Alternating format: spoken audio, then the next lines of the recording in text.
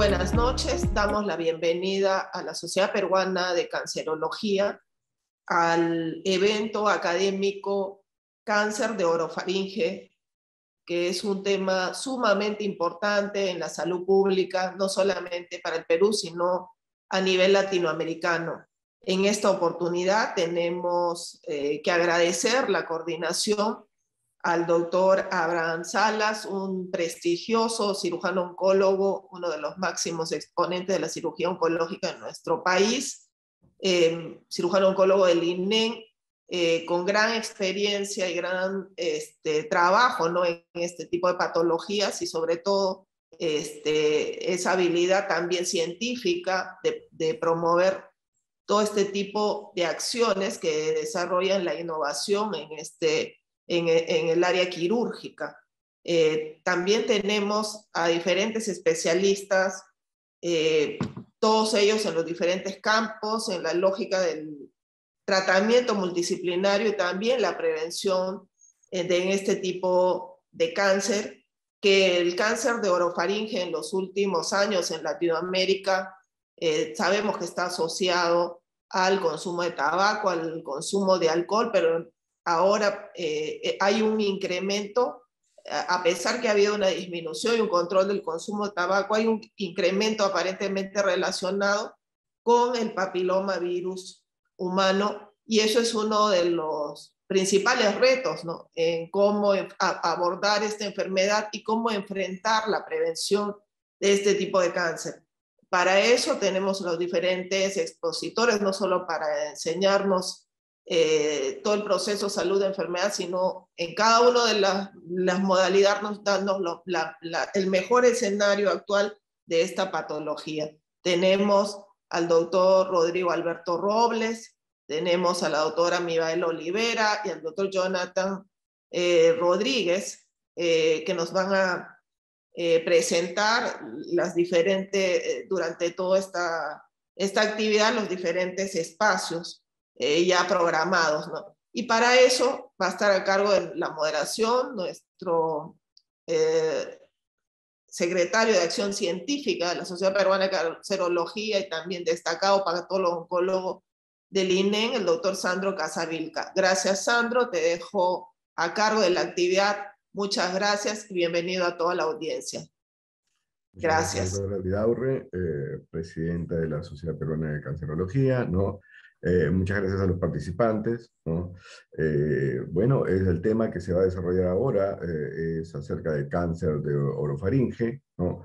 es una evolución novedosa, como ya ha mencionado la doctora. No tenemos la nueva clasificación OMS del año 2017 y están aquí para justamente darnos sus alcances ¿no? de esta nueva historia natural de la enfermedad nuestros destacados ponentes. voy a pasar a presentar ¿no? Al doctor Abraham Salas, ¿no? Él ha sido... El doctor Abraham Salas es cirujano oncólogo, especialista en cabeza y cuello eh, por la Universidad Peruana Cayetano Heredia, ¿no? Ha sido eh, eh, jefe del Departamento de Cirugía de Cabeza y Cuello del Instituto Nacional de Enfermedades Neoplásicas. Eh, el doctor se desempeña como cirujano eh, oncólogo de cabeza y cuello actualmente en el INEN ¿no? y en clínica de especialidades médicas. Eh, destacado profesional que hoy nos va a ilustrar sobre la nueva historia natural del cáncer de orofaringe. Bienvenido, doctor Salas, lo dejo con la palabra. Sus preguntas las pueden ir haciendo a través del chat que las vamos a eh, recolectar para el final. Muchas gracias. Gracias, doctor Casavilca. Antes de iniciar la charla, agradecer la, invitación, agradecer a la doctora Tatiana Vidaurre, presidente de la Sociedad Peruana de Cancerología, y felicitarla por mantener las actividades académicas que siempre son de, muy, bien, muy bienvenidas y que nos permite mantenernos en la actualidad respecto a temas tan interesantes como esta noche el cáncer de orofaringe. Eh, me permito, doctor Gazavil, que igualmente agradecer a los doctores Rodríguez y Robles que atendieron una eh, invitación que les hice y participan esta noche con nosotros.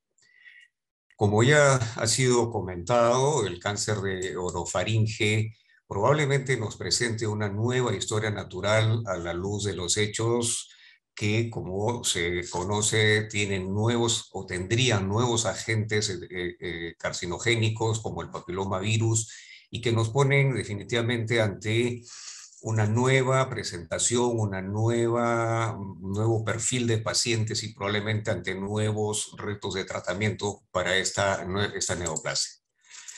De inicio, recordar un poco la anatomía de, de, esta parte del cuerpo. La faringe, como todos sabemos, está dividida en tres partes, una superior nasofaringe, una inferior laringofaringe y una media que es la orofaringe, que es el tema que nos toca revisar. Entonces, eh, en primer lugar, bueno, nuevamente pedirles disculpas por esta falla técnica y lo que comentábamos respecto a la localización anatómica era esta porción central de la faringe llamada orofaringe, que está compuesta por varios subsitios, no es una sola área anatómica única, sino que comprende, como bien sabemos, el paladar blando, las paredes de la faringe, las, la celda amidaliana con la propia amígdala eh, en el medio y la base de la lengua. Todas estas eh, localizaciones, como decimos, conforman la orofaringe y que van a tener un comportamiento clínico realmente distinto de las partes más próximas, como son la cavidad oral, respecto a la diseminación de los tumores y diseminación de los ganglios linfáticos. Estos subsitios pueden ser asiento de diferentes tipos tumorales y clásicamente se ha considerado que la fosa tonsilar, es decir, donde está la amígdala, es más o menos, representa el 43% de los tumores que se van a localizar en el área de, lo, de la orofaringe. Adicionalmente, en la zona del paladar blando se van a localizar aproximadamente el 26% de los tumores en la base de la lengua alrededor de un 20% y en la pared posterior una localización que se compromete infrecuentemente alrededor del 11% de los tumores. Esto es una distribución clásica, es una, es una distribución que se ha mantenido a través del tiempo hasta unos 20 años atrás, porque vamos a ver que esto en algo ha cambiado. Y se comenta que la sobrevida a cinco años para los tumores de la orofaringe ha oscilado entre el 17 y el 57%. También tenemos que recordar que los ganglios en el cuello, para efectos de una mejor evaluación, se han sistematizado en diferentes grupos ganglionares, los cuales están delimitados por estructuras anatómicas muy fáciles de reconocer y que nos permiten evaluar clínicamente o de diseñar algún tipo de tratamiento quirúrgico en base al, a la distribución de drenaje linfático ya conocido que tienen los diferentes órganos o los subsitios, en este caso, de la orofaringe. Aparte de los que encontramos fácilmente en el cuello, también hay algunos que tienen una localización un poco más profunda, como los están localizados en el espacio retro, retroestiloideo del espacio parafaringio y en lo que se conoce como el espacio retrofaringio, que en ocasiones también puede ser asiento de enfermedad ganglionar. Lo importante de conocer estas localizaciones de los diferentes grupos ganglionares es que los diferentes subsitios de la orofaringe pueden dar con mayor o menor frecuencia compromiso ganglionar en diversos grupos de, eh, eh, ganglionares en el cuello. Lo importante en esta diapositiva es ver que cualquiera sea la localización, pared faringea, área tonsilar, paladar blando o base de lengua, la presentación ganglionar inicial va a oscilar entre un 45% y casi un 80%. Es decir, cuando estamos frente a un tumor de la orofaringe, en la inmensa mayoría de casos vamos a encontrar patología ganglionar asociada. Lo otro que en localizaciones como la pared faringea o el paladar blando, el mayor compromiso ganglionar o la posibilidad de mayor compromiso ganglionar va a estar relacionado a lesiones de mayor tamaño. Sin embargo, es interesante notar que cuando vemos fosa tonsilar o base de lengua, sea una lesión pequeña como un T1, sea una lesión grande como un T4, tienen un alto componente ganglionar asociado. En el caso de la fosa tonsilar puede oscilar entre 70 y 90%, y para el caso de la base de lengua igualmente en un 70% para lesiones consideradas pequeñas T1 o lesiones más grandes consideradas T4, casi igualmente un 90%. Y el otro eh, punto interesante es que no debemos olvidar la posibilidad de la bilateralidad. Hay estructuras como base de lengua, como la, eh, la, región del paladar blando, que predominantemente van a tener localizaciones centrales, los tumores van a estar localizados en la manera, de una forma central, lo cual nos da la opción de encontrar ganglios en ambos lados del cuello. Para el caso de la pared faringe, alrededor del 17, un poco menos cuando se hace, cuando se ve fosa tonsilar, porque esto sí es francamente lateralizado, o es derecha o es izquierda, cosa que no es tan delimitada cuando se evalúa paladar blando o base de lengua y cuya bilateralidad puede llegar hasta el 30% de los casos. Y se ha hablado, la doctora Vidaurre haciendo la introducción nos decía de que esto es una, un tipo de tumor que está en auge y esto es cierto. De acuerdo a, a una estadística de Globocan del año 2012 que reportaban alrededor de 142 mil casos eh, de cáncer de orofaringe y eso ha representado alrededor del 1% de las neoplasias malignas del ser humano. Y mantiene la característica de ser predominantemente en hombres y poco en mujeres en una frecuencia de 4 a 1. Hay lugares en el mundo que tienen un poco más de eh, incidencia respecto a otros, como por ejemplo es la zona de, de Europa Occidental, donde la tasa de cáncer de orofaringe para los varones es 7.5 por cada 100.000 habitantes y casi en una proporción de 4 a 1, en el caso de las mujeres 1,6 por cada 100.000 habitantes. En este lado del mundo, para nosotros Brasil es probablemente el país que tiene mayor compromiso o mayor incidencia de cáncer de orofaringe y su tasa es bastante alta, casi 20 casos por cada 100.000 habitantes y, repito, manteniendo esa proporción del 4 a 1, en el caso de mujeres, 5 casos por cada 100.000 habitantes. En el Perú, a pesar de que nosotros mantenemos una ah, tasa alta de casos de cáncer, de acuerdo al registro de cáncer de Lima Metropolitana, eh, alrededor de 225 casos por cada 100.000 habitantes, no está dentro de los tipos de cáncer más frecuente que tenemos. Y esto está en relación a lo descrito en la literatura, porque hay un incremento y se mantiene una tasa realmente alta, principalmente en, países desarrollados.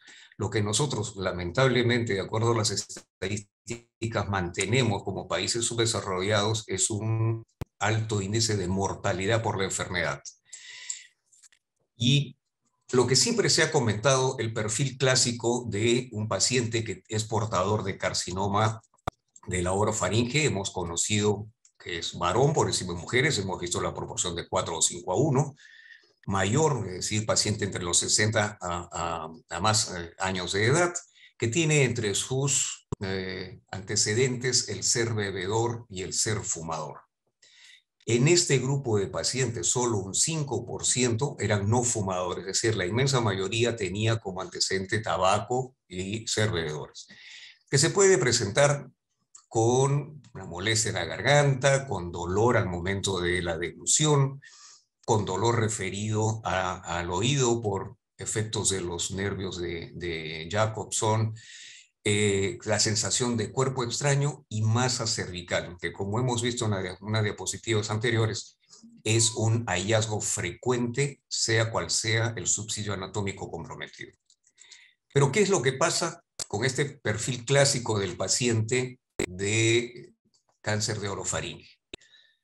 Debemos recordar que, eh, de acuerdo a la mayor propaganda en contra del tabaco entre la población norteamericana, se ha logrado disminuir el consumo de tabaco, que en el año 1965 abarcaba el 40% de la población, a niveles de 20% de la población. Y esta disminución en el consumo de tabaco entre la población norteamericana ha hecho que en general el cáncer de cabeza y cuello mm, tenga cifras hacia abajo, es decir, haya una disminución del número general de neoplasias malignas en el área de cabeza y cuello. Y eso lo podemos ver en un trabajo hecho allá en el 2014 por la gente de del MD Anderson de Texas, donde ven los casos de cáncer de orofaringe, de cavidad oral y de laringe a través del tiempo. Esto es lo que se, reportaba clásicamente. Y si nosotros seguimos la, uh, las, las, curvas, la orofaringe, que es la que estoy señalando, a través de las últimas dos décadas presenta un incremento en el número de casos. No así el cáncer de cavidad oral y el, cáncer de laringe, que tienen, como decía, una tendencia a la disminución por efectos de esta tendencia a la disminución a su vez del consumo del tabaco. ¿Y qué es lo que se espera? Esta misma, en esta misma publicación hacen proyecciones numéricas y lo que nos espera para los próximos años es un incremento realmente dramático del número de casos de cáncer de orofaringe con un continuo, una continua caída de los casos de cavidad oral y los casos de laringe. Y en esta misma publicación no solamente se ve el número de casos que se va a presentar o que se ha presentado en la historia y las proyecciones que se tienen, sino que se estratifica de acuerdo a si el paciente es varón o si es mujer. En la incidencia observada a través del tiempo vemos nuevamente el incremento de los casos de cáncer de orofaringe. Pero cuando se estratifica en género, en sexo masculino o femenino, vemos que el incremento es mucho mayor para los varones que para las mujeres. E igualmente, en lo que se proyecta en números para los siguientes años, es lo mismo. Va a haber una tendencia de ambos, de orofaringe en general, se, espera un incremento en el número de los casos y ese, además es un incremento marcado, pero a predominio de la población masculina, no así de la población femenina que va a mantener un número más o menos determinado y estable de casos respecto a esta localización. Entonces, con estas características, nos cambia el perfil del paciente clásico y varía, ya no es un paciente mayor, sino es un paciente joven, ya no es un paciente bebedor y fumador, sino más bien es uno que no, no consume tabaco. En este grupo Así como en el anterior era solo el 5% no fumadores, en este se encuentra una mayor cantidad de gente no fumadores, 30%. Repito, sin el antecedente del consumo de alcohol, pero se añade una nueva, un nuevo factor de riesgo que es las múltiples parejas sexuales. Y se ha estudiado el número que se llegan entre 8 a 10, que es ya un número de alto riesgo para el desarrollo de, esta, de estas lesiones e inclusive para los que eh, tienen prácticas de eh, sexo oral, han determinado que el número crítico es cuando uno tiene cuatro o más parejas y se pone en alto riesgo para el desarrollo del el cáncer de orofaringe. Pero adicionalmente, en las últimas décadas ha ingresado el papiloma virus como un, factor eh, probablemente etiológico muy importante.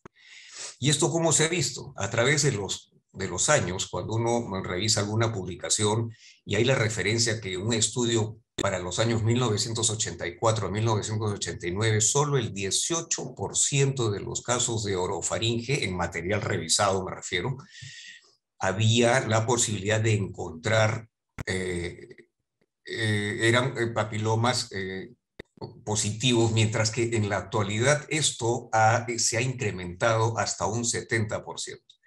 Y hay estudios como este, eh, practicado por gente del, Instituto de Cáncer de, Estados Unidos, en que revisan material patológico buscando expresión del P16 y eh, buscando la expresión del DNA por PCR. Y se reporta en esta revisión de que en metaanálisis con 2.099 pacientes, en 1990 se encontraba una positividad del 20% contra 65% en el año 2000, e igual para otro análisis que cerca de 5.400 pacientes entre Estados Unidos y Europa daban un incremento notorio en la positividad, en, la, en el hallazgo de alguna de estas dos mm, variables que confirmaban esta positividad para VIH. Igualmente, en un estudio multicéntrico de ocho hospitales en Australia, revisando su material de 20% lo suben a 63% y en Holanda, en un centro referencial único, de un 5% a un casi 30%. Y entonces esto nos pone francamente ante un cáncer de orofaringe que tiene dos opciones. O es un paciente que tiene un PBH negativo, que como resumen es una persona expuesta a tabaco, alcohol y que expresa eh, P53, pero que en números absolutos tiende a la disminución. En una publicación del año pasado por un grupo chileno en la revista de Otorrinolaringología de Cirugía Cabeza y Cuello de, de Chile, refieren que este grupo era se manejaba con una incidencia de dos casos por cada 100.000 habitantes. Sin embargo, entre los años 88 al 2004 ha bajado al 50%. Es decir, este grupo de enfermedad de carcinoma de orofaringe PBH negativo tiende a la disminución.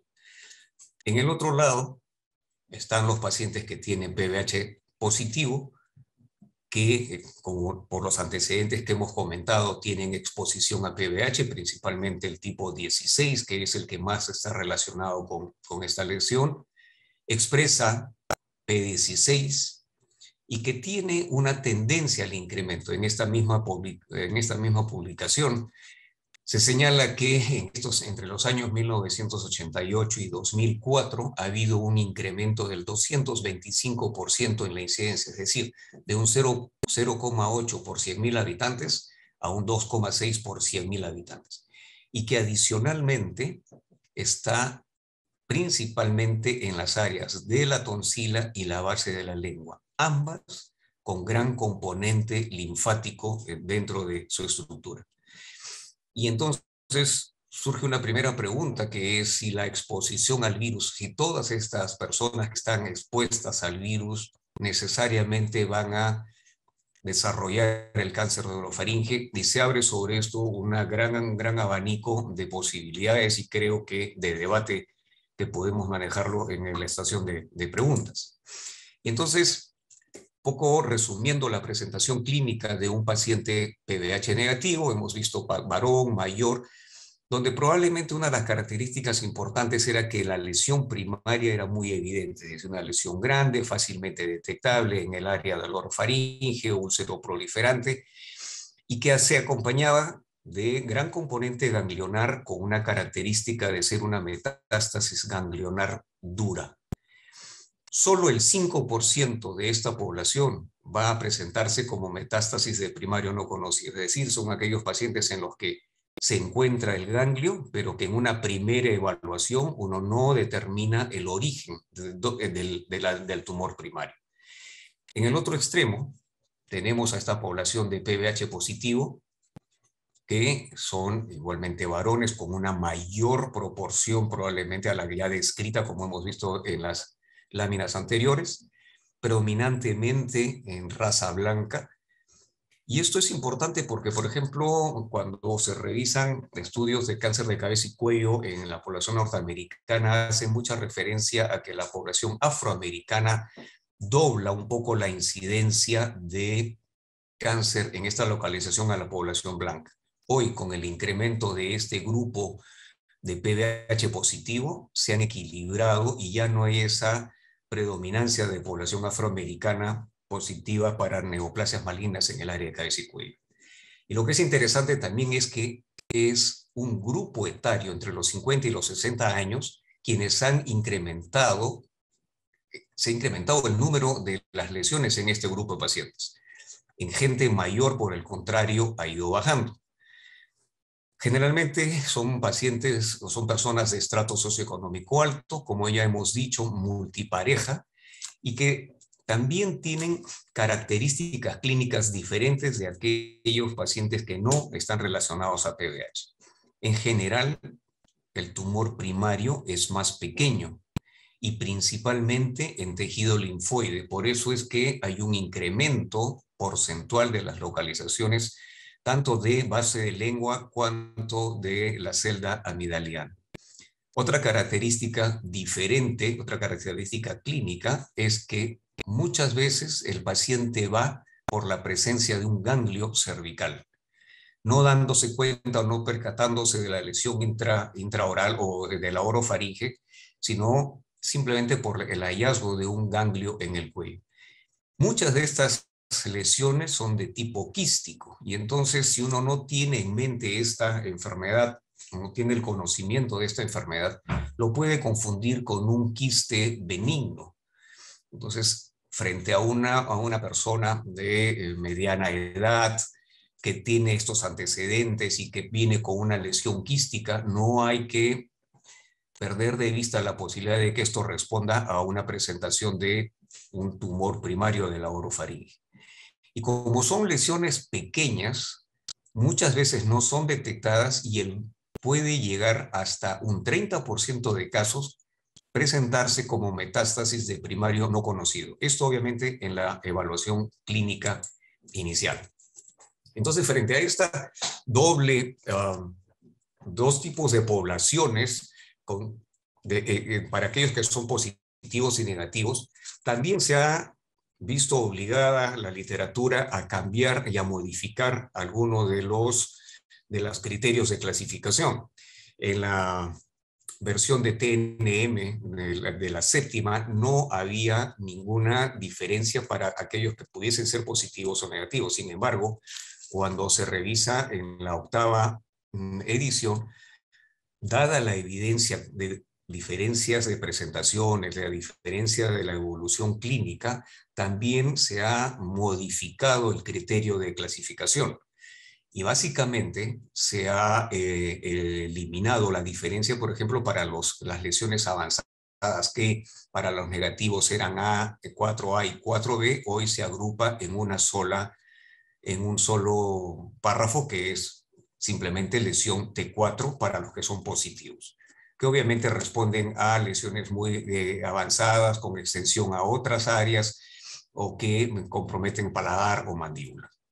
Donde probablemente se haya visto más cambio en este grupo de pacientes es en la clasificación ganglionar de estos pacientes, donde las, los clasificados como 2A, 2B y 2C son aquellas lesiones menores de 6 centímetros, pero todas sin extensión extranodal, para el caso, repito, de los pacientes negativos a PD16.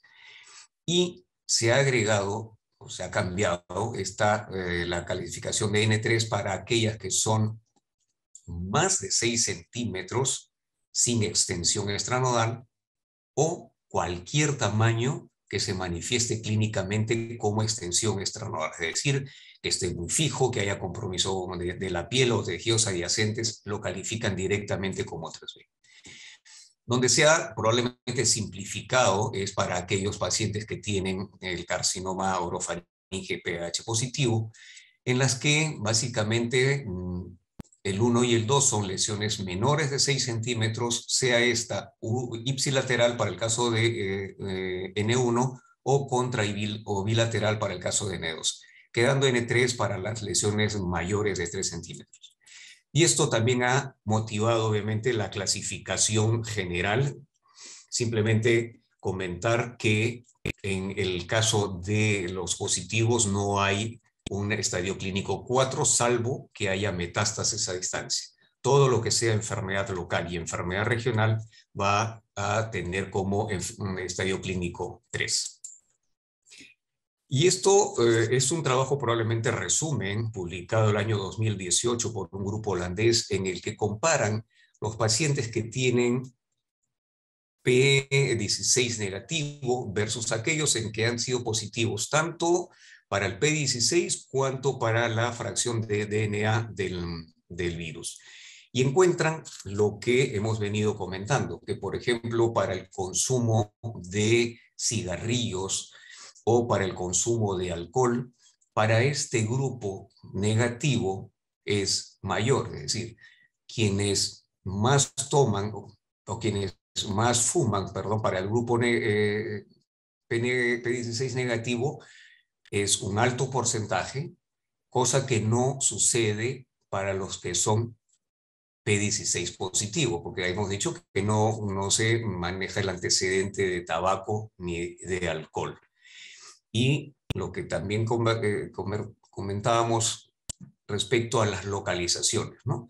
En el grupo clásico, en el perfil clásico, la uh, tonsila y la base de la lengua tienen una alta, uh, un alto índice de compromiso, pero es mucho mayor en los pacientes que son o que están con enfermedades relacionadas al PVH y muy pobres en aquellos áreas en que no hay tejido linfático como son el paladar blando o la pared posterior de la orofaringe.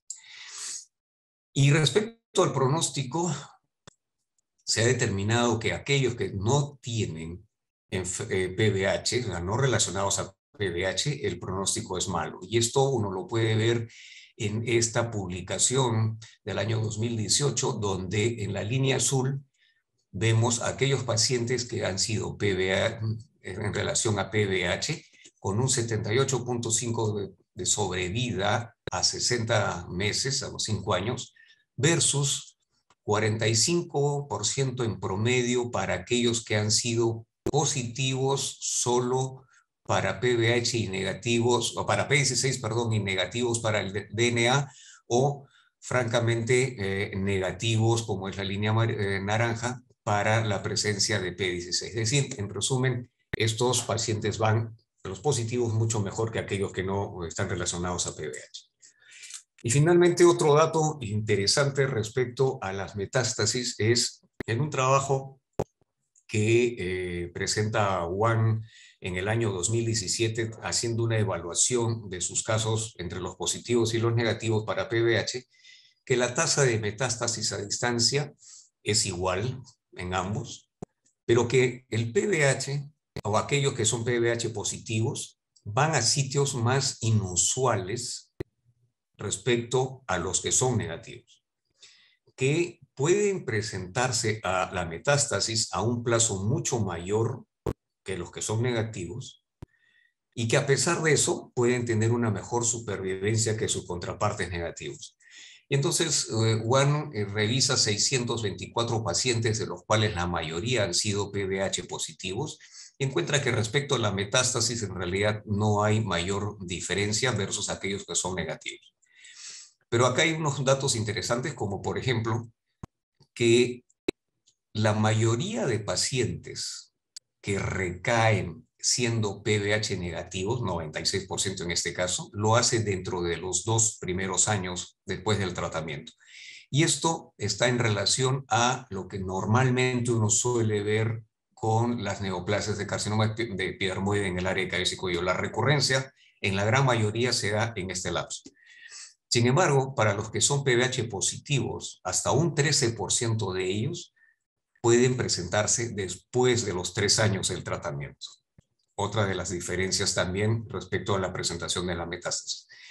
Y en, ese mismo, y en esa misma línea puede presentarse en varios sitios la metástasis y en la revisión de estos casos en el 33% se presentaron en varios órganos tan inusuales como cerebro, como intestinos, y no se vio ninguna de esas presentaciones eh, fuera de, eh, del área de los ganglios en los que son PBH negativos. Aún así, la sobrevida después de la aparición de las metástasis en el grupo de PBH positivo, un 11% versus un 4% para aquellos que no la tienen. Entonces, con toda esta información, en realidad podemos estar asistiendo a una nueva historia natural del cáncer de orofaringe, con un nuevo tipo de pacientes, con una nueva presentaciones desde el punto de vista clínico en los hallazgos que uno puede encontrar en estos pacientes y con nuevas, nuevos datos respecto a tiempos de sobrevida o presentación de metástasis. Y con esto eh, les doy las gracias por su atención y en todo caso, si hubiesen alguna pregunta respecto a lo que se ha presentado, encantado de intentar eh, absorberla. Muchas gracias. Muchas gracias, eh, doctor Abraham Salas. ¿no? pueden ir subiendo sus preguntas al chat ¿no? Para continuar con la, las conferencias. vamos a invitar al doctor Rodrigo Robles, quien nos va a desarrollar el tema de papiloma virus humano y cáncer de orofaringe. El doctor Robles es eh, médico cirujano, especialista en cabeza y cuello. Eh, su formación, su entrenamiento lo realizó en el Instituto Nacional de Enfermedades Neoplásicas, en donde eh, tuve el gusto de verlo desarrollarse. Eh, es eh, egresado de posgrado y de pregrado de la Universidad Peruana Cayetano Heredia, coordinador del el Departamento de Cabeza y Cuello del Instituto Regional de Enfermedades Neoplásicas del Sur, ¿no? del IREN Sur, docente de la Universidad San Martín de Porres y de la Universidad Católica Santa María, y en su práctica privada, pues lo podemos encontrar en Oncosalud y en Clínica San Pablo de Arequipa. ¿no? Dejo entonces en la palabra al doctor, eh, al doctor Rodrigo Robles ¿no? para desarrollar su tema. Adelante, doctor.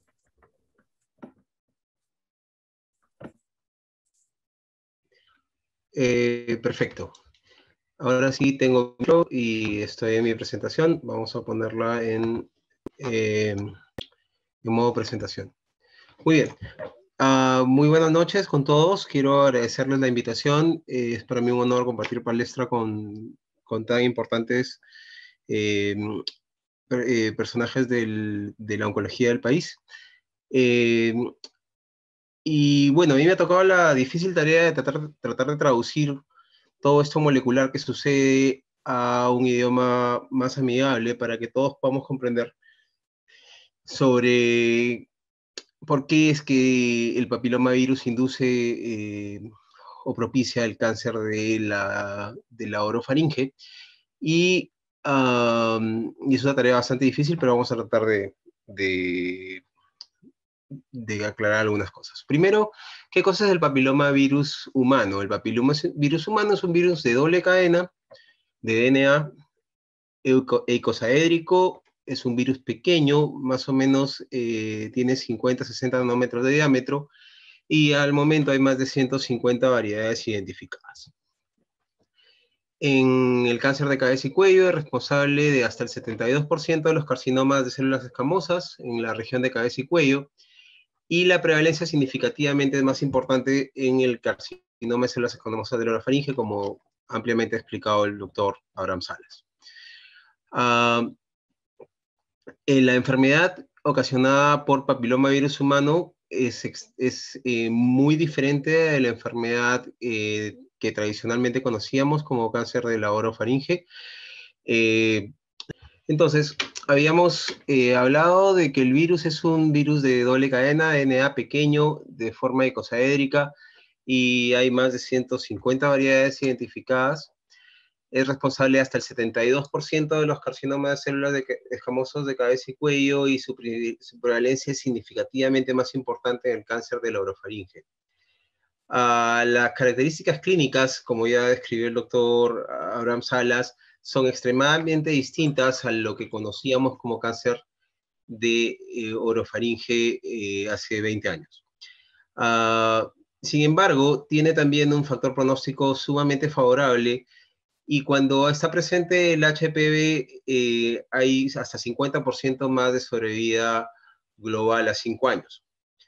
Entre los papilomas virus humanos que se encuentran más frecuentemente está el 16, sin embargo también están el 18, 31, 33 y el 35 involucrados en la, eh, la génesis del cáncer de la orofaringe. Correcto. Eh, es un virus que no es en realidad un virus tan complejo. Básicamente tiene dos proteínas de superficie, eh, la L1 y la L2.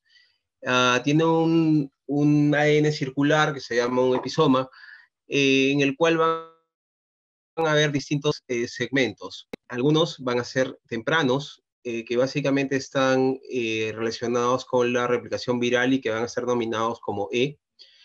Van a haber otros que son estructurales y van a estar representados por la letra L, porque son tardíos. Y va a haber un área que es el área de control, la región de control larga, que básicamente va a tener algunas eh, cuestiones eh, moleculares y sobre la replicación del virus que van a estar insertadas en esa región. Em, es muy importante que estas eh, estructuras denominadas E, o estos genes denominados E, van a tener unos productos proteicos que van a estar involucrados con la replicación del virus y por lo tanto van a afectar el ciclo celular. Ah, esta es otra forma, de, otra presentación de verlos, es el episoma eh, de modo circular, donde vamos a tener estos segmentos denominados E6 y E7, que van a ser los que van a tener mayor importancia em, eh, genética, este, y las estructuras que van a dar origen a la cápside que están eh, relacionados con L1 y L2. Ah, ¿Cuál es el mecanismo de acción de este virus? El virus tiene que eh, entrar a un lugar donde se haya roto la parte superficial del epitelio, donde se hayan expuesto las células basales. Aparentemente en estas células basales hay algunas células que son eh, multipotenciales y este, cuando estas células multipotenciales son infectadas, se va a dar una eh, inserción de este genoma viral en las células Ah, permitiendo así su persistencia. El virus ingresa eh, básicamente a través de la proteína L2 eh, y atraviesa la membrana y luego va a viajar al núcleo donde va a eh, abrir su, su virus, perdón, su ADN, que es de doble cadena muy similar al, del, al de la célula, y va a integrar su ADN a la célula. Ah, al integrarla va a producir estas eh, proteínas del tipo E y sobre todo va a producir las E6 y E7, que son las que tienen una parte más funcional en la progresión a enfermedad maligna. ¿Por qué? Porque dentro de la célula van a haber unas proteínas que van a estar básicamente controlando eh, la replicación celular y cuyo funcionamiento es fundamental para que no, la célula no entre en, en, fase S, o sea, la fase replicativa. Y estas proteínas van a ser el P23, que básicamente es un guardián del genoma, eh, actúa como una proteína supresora tumoral, eh, inicia la reparación del DNA, supervisa los puntos de control del circo celular y controla la apoptosis. Y la otra eh, proteína importante es la proteína del retinoblastoma, que va a prevenir la reproducción de DNA dañado en la célula y que va a regular el ciclo celular.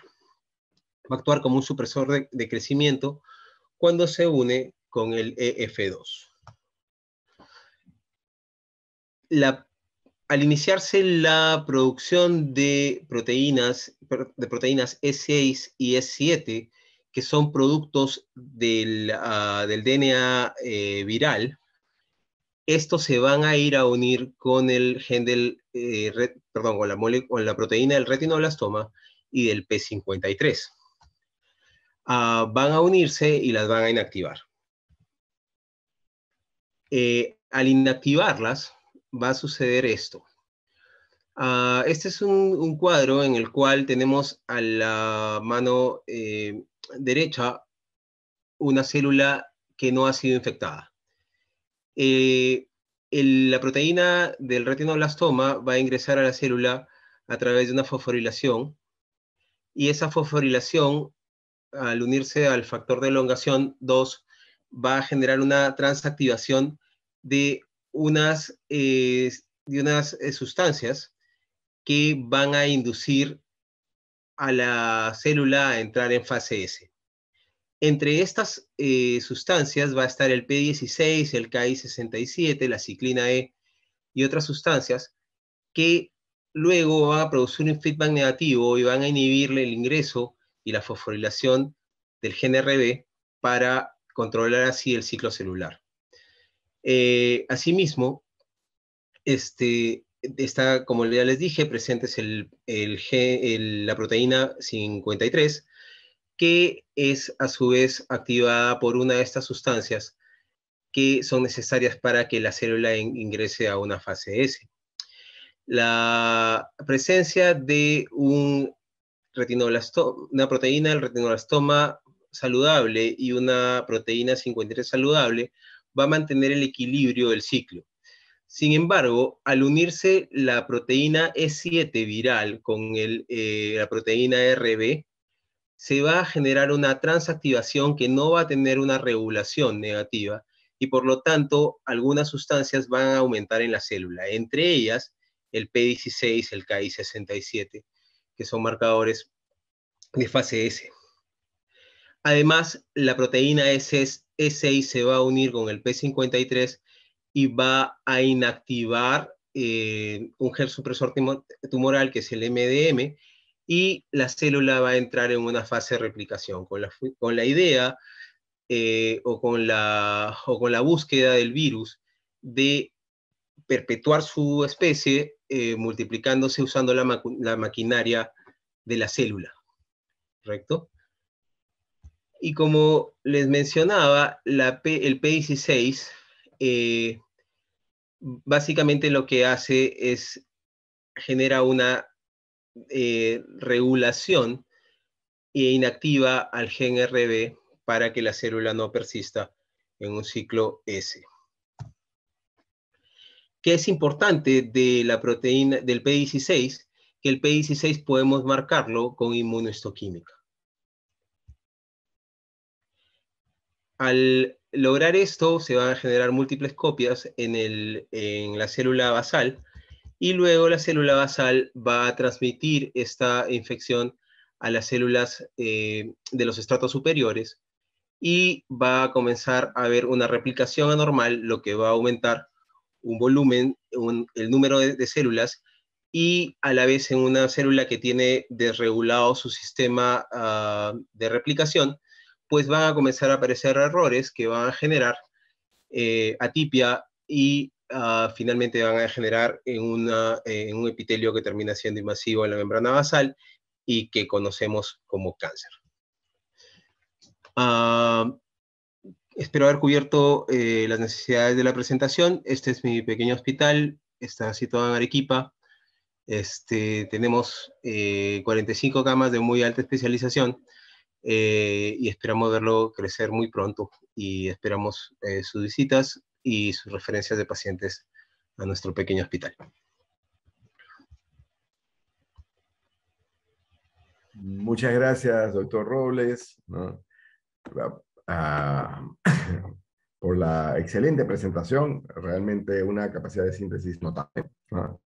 Vamos eh, ahora a recibir a la doctora eh, Mibael Olivera Hurtado de Mendoza, ¿no? Quien nos va a hablar el día de hoy sobre el rol del cetuximab en el eh, tratamiento de cáncer de eh, orofaringe. La doctora Olivera ¿no? es médico oncóloga, asistente del Departamento de Oncología del Instituto Nacional de Enfermedades Neoplásicas. Además, es una activa investigadora en eh, estudios clínicos, ¿no? Miembro de la Sociedad de Oncología Médica y miembro de la Sociedad de Cancerología. Bienvenida, doctora, y eh, la dejo en la palabra. Buenas noches con todos ustedes. Gracias a la Sociedad de Cancerología por la invitación y también a todos los que están conectados en esta sesión educativa de la Sociedad de Cancerología. Eh, bueno, hablando de este tema del cáncer orofaringe, me ha tocado la parte que es del tratamiento, que en este caso con el cetuximab. Estos son mis conflictos de intereses Y bueno, ya han hablado un poco como para introducir este, lo que es el cáncer de cabeza y cuello en general. Es una enfermedad heterogénea, como ya lo han descrito los doctores, porque van a, abarcar diferentes partes de lo que es desde la cavidad oral hasta la laringe. Y específicamente en lo que nos vamos a abocar, que es el orofaringe. Y este, igual ha habido diferentes cambios, tanto en la anatomía, como se puede ver, como la etiología, haciendo un paralelo con la cavidad oral con la orofaringe. Vemos que en cuanto a la anatomía este, es diferente su ubicación, en cuanto también a la población que está afectada, en general la cavidad oral cerca de 250 mil personas, en tanto la orofaringe 100 mil.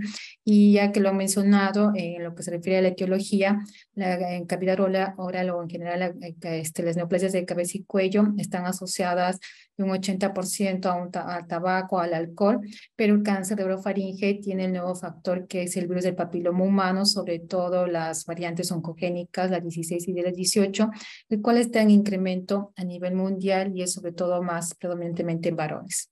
Aquí vemos la incidencia del cáncer orofaringe en general eh, a nivel mundial según el GloboCam 2020, donde vemos que es la diferencia eh, más predominante con 2.8 de incidencia, sobre todo en la población de Europa, del Caribe o de América del Norte, a diferencia, por ejemplo, de América del Sur, que tiene 1.4, o de los países que están en África de 0.2.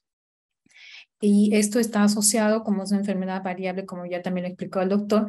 Sobre todo en la etiología tenemos eh, este, la que está Ah, hay una parte que es de cáncer orofaringe, que son los HPV negativos, que están en relación con la exposición al alcohol, al tabaco, con los diferentes factores oncogénicos que van a llevar finalmente a los cambios genéticos y al desarrollo del cáncer orofaringe. Y tenemos el otro, que es el virus papiloma humano, que el doctor ya lo ha explicado, con la presencia de, los, este, de las partes oncogénicas, que son L6 y L7, que van a interactuar con el retinoblastoma y con el P53, que finalmente van a dar origen al carcinoma de orofaringe escamoso. También vamos a observar que la diferencia en la sobrevida, los pacientes que tienen cáncer de orofaringe asociados al HPV, este, o que tienen HPV positivo, tienen una mejor sobrevida global en comparación a aquellos que tienen el HPV negativo, ¿no? De acuerdo a lo que se va haciendo los estudios clínicos. La prevalencia del cáncer orofaringe que relacionado al HPV se ha incrementado en los últimos años, como ya lo he mencionado, desde el 2010 hasta el 2015, como podemos ver en estos gráficos, independientemente del sexo, que es mucho más en varones que en mujeres, pero en ambas poblaciones se está incrementando y también independientemente de la raza podemos ver tanto en la raza blanca, en la negra, en la hispana, en la asiática, que va incrementándose a partir del 2010 al 2015. Hay una incidencia que probablemente se calcula que esté en un 20-25% a nivel mundial o incluso más. Eh, también ha habido algunos cambios en lo que se refiere a la clasificación del cáncer orofaringe, sobre todo con la octava edición, eh, que uno de los cambios fue a nivel de orofaringe en la clasificación de esta, del estallaje de acuerdo a si el paciente tenía el HPV positivo o el HPV negativo, siendo diferente la categorización de los estadios, porque el HPV positivo tiene una enfermedad con un N más pequeño y un más grande a diferencia del HPV negativo. Esto ha hecho que se migren cerca del 50% de los cánceres de orofaringe HPV positivos que antes, según la séptima edición, eran considerados como un estadio clínico 4A, un estadio clínico 1 o un estadio clínico temprano. En el RTOG, el 0129, en el año 2010 se hizo un análisis para poder identificar aquellos factores pronósticos para el cáncer de orofaringe, que sobre todo estaban en relación con la exposición al HPV, luego el número de paquetes de cigarrillos o de tabaco que habían fumado y el N, que es diferente, como hemos dicho, este, que es mucho más pequeño. de acuerdo a estos tres factores, el cáncer de orofaringe es clasificado en tres, en tres grupos, el de bajo riesgo, que es el que tiene el HPV positivo con menos de 10 paquetes por año de tabaco y con un N pequeño y que tiene una sobrevida a tres años de un 93%. El, el de alto riesgo, que son aquellos que son HPV negativos con más de 10 paquetes de tabaco por año y que tienen un T mucho más grande que son los de alto riesgo y tienen una sobrevida a tres años de un 46%, siendo casi la mitad de los pacientes que son HPV positivos o los que tienen bajo riesgo. Y el grupo intermedio que tiene un 71%. Esto vamos a ver más adelante que nos va a servir sobre todo para los tratamientos que se están tratando de, este, de poder en estos pacientes. Ahora, ya sabemos que en cáncer de cabeza y cuello en general, el tratamiento en base a quimioterapia y radioterapia concurrente es el estándar, este, de acuerdo a los metaanálisis, como en este, el NASH, que fue publicado en el año 2010, el primer seguimiento a los seis años, en los cuales se ha visto en general, sobre todo pacientes que, este, que eran de orofaringe, cavidad oral, laringe, hipofaringe, que el aumentar la radioterapia, la quimioterapia, aumentaba la sobrevida global en un 6.5%, ¿no? Vamos a ver aquí, incluso llegando hasta un 8% a los 5 años. Esto como seguimiento a 10 años de este mismo metaanálisis, incrementando mucho más estudios, donde lamentablemente en todos los estudios están incluidos todos los tipos de ubicación, siendo también el de orofaringe. Entonces ahí se ve que también se va a beneficiar el incrementar el tratamiento de la radioterapia con la quimioterapia un 8%, a 5 años y a 10 años, que siendo diferente a la quimioterapia de inducción. Y esta quimioterapia este, que va con la radioterapia es el cisplatino, sobre todo el de altas dosis, a 100 miligramos por metro cuadrado cada tres semanas, con los cuales se ha mostrado este incremento en la sobrevida global de este grupo de pacientes.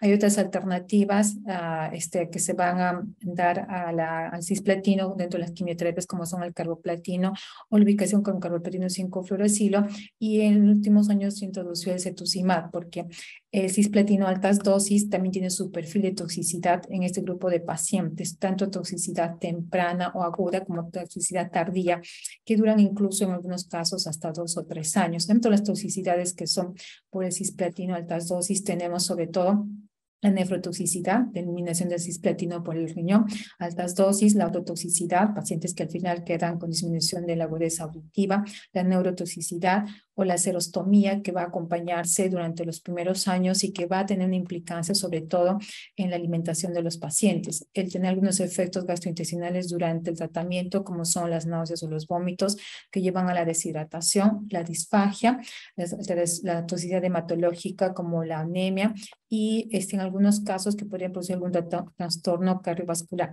Como sabemos, la mayoría de estos pacientes son pacientes este, que son de mayor edad y pero tenemos también el grupo de cáncer orofaringe que son pacientes jóvenes, de acuerdo a lo que estamos viendo el nuevo perfil de, este, de esta neoplasia. Entonces, estos pacientes jóvenes, dándoles un tratamiento con radioterapia con cisplatino, van a tener estas este, toxicidades a largo plazo y esto ha hecho que este, en los últimos años intente de hacer unas nuevas estrategias de tratamiento en este grupo de pacientes de cáncer orofaringe o también buscar unas alternativas a aquellos pacientes que no califican para poder usar las dosis altas de cisplatino de acuerdo a la toxicidad. Dentro de esto está el cetuximab.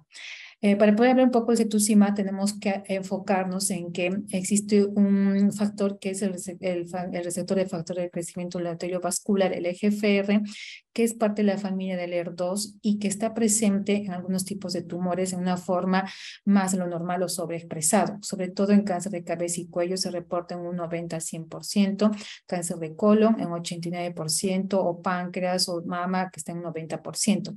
Eh, ¿Por qué tiene importancia esta sobreexpresión del EGFR? Porque esta está asociada con peor pronóstico y en cáncer de cabeza y cuello incluso con una reducción de respuesta a la radioterapia. Entonces, esto, este factor de crecimiento eh, este va, digamos, se va a activar porque va a haber unos receptores en la membrana celular que van a, interactuar con unos factores que son de, unos ligandos como son este, el EGF o el factor de crecimiento derivado de las plaquetas o de los, de los um, trofoblastos, los cuales finalmente van a hacer que se una a este receptor y se va a producir una activación, una homo o una heterodimerización que van a llevar por vía intracelular la fosforilación y la activación de los receptores tirosinquinasa a nivel intracelular que tienen que ver con activación de vías de señalización que van hacia el núcleo. Existen diferentes vías de señalización dentro de las cuales las más importantes o las que tienen que ver, por ejemplo, tenemos con el STAT que tiene que ver con la sobrevida de la célula, con la proliferación o la activación de la vía de señalización del PI3 quinasa que finalmente va a llevar a la angiogénesis, a la tumorogénesis o la inhibición de la apoptosis o de la vía del RAS del rato del MED, que también tiene que ver con la expresión genética y con la progresión celular o con las vías del PK que va a llevar a transformación. Estas vías de señalización hacen que finalmente se produzcan este, la célula cancerígena y esta se transforme y comience a invadir. Este sobreexpresión del EGFR, por eso que es importante en cáncer de cabeza y cuello, porque no solamente es de mal pronóstico, sino también reduce la sobrevida global.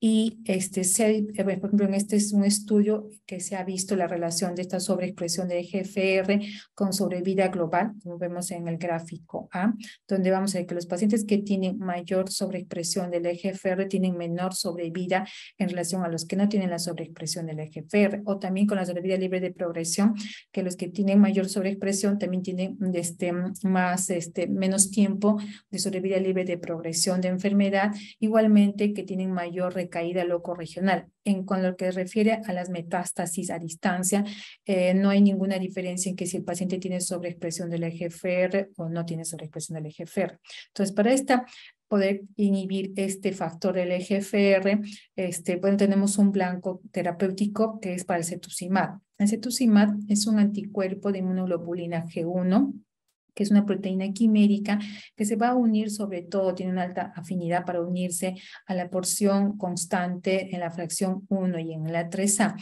Al eh, unirse a este receptor que es en la parte, eh, sobre todo en este caso en la parte externa, van a inhibir y va a bloquear todas estas vías de señalización y por tanto se va a producir todo, este, se, van, a desactivar esas vías de señalización, una forma de poder combatir a las células cancerígenas.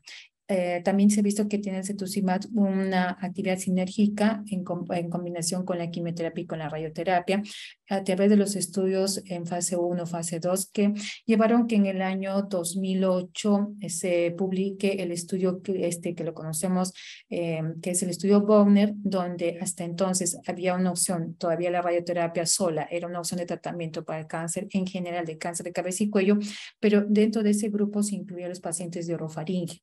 Entonces, este, esto eh, se compara la radioterapia sola frente a la combinación de radioterapia con cetuximab. En los pacientes que tenían enfermedad localmente avanzada, como les dije, había el mayor porcentaje era de cáncer de orofaringe, porque obviamente es un estudio esto en países de Europa y de Norteamérica que representaban casi el 60% de la población.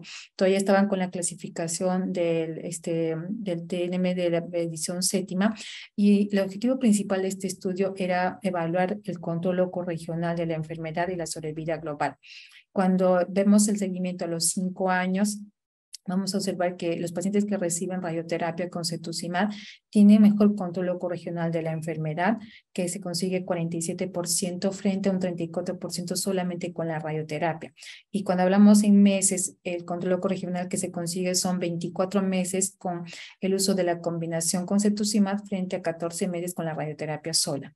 En lo que se refiere a sobrevida global, también a los 5 años es a favor de la combinación de la radioterapia con cetuximab, 49 meses frente a 29 meses solamente con la radioterapia, una significativa y un Hazard ratio de 0.73, que significa más o menos una disminución de un, casi un 30% del riesgo de morir de aquellos pacientes que recibían radioterapia con cetuximab.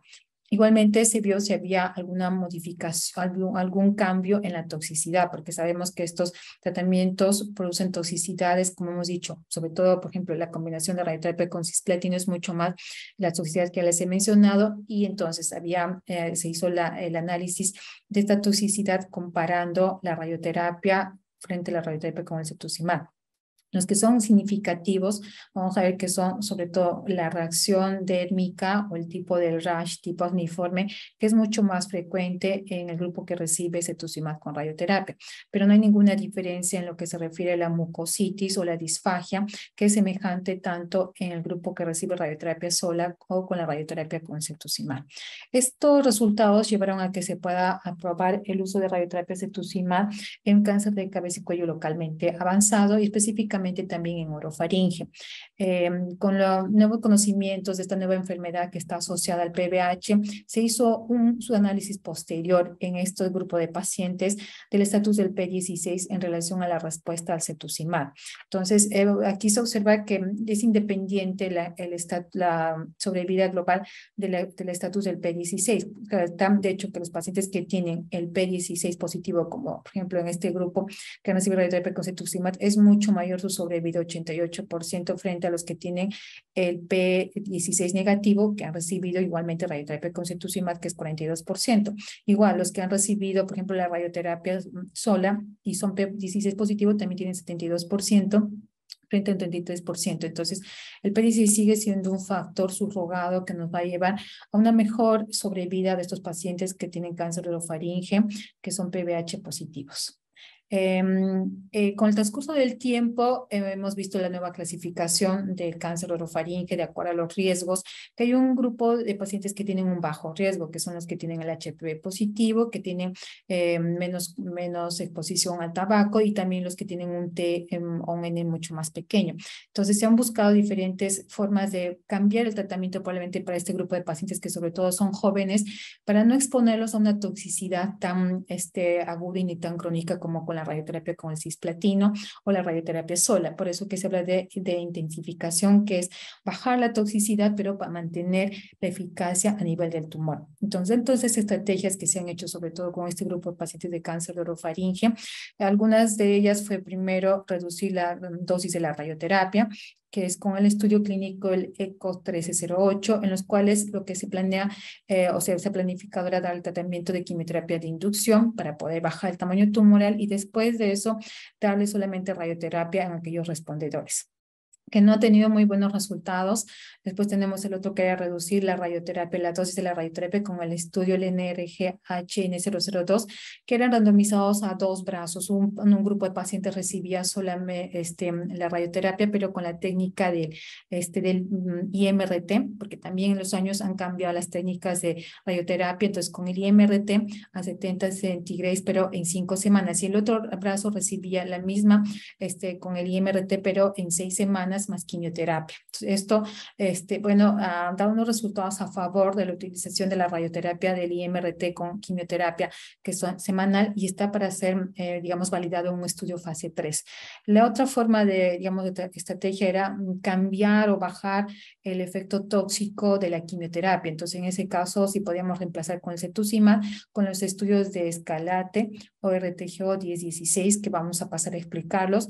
La otra estrategia también era si, digamos, podemos quitarle la quimioterapia y solamente darle radioterapia, que es con el estudio del NRG HN002, pero hemos visto que el añadirle el tratamiento con quimioterapia ha mejorado la sobrevida global frente a la radioterapia sola.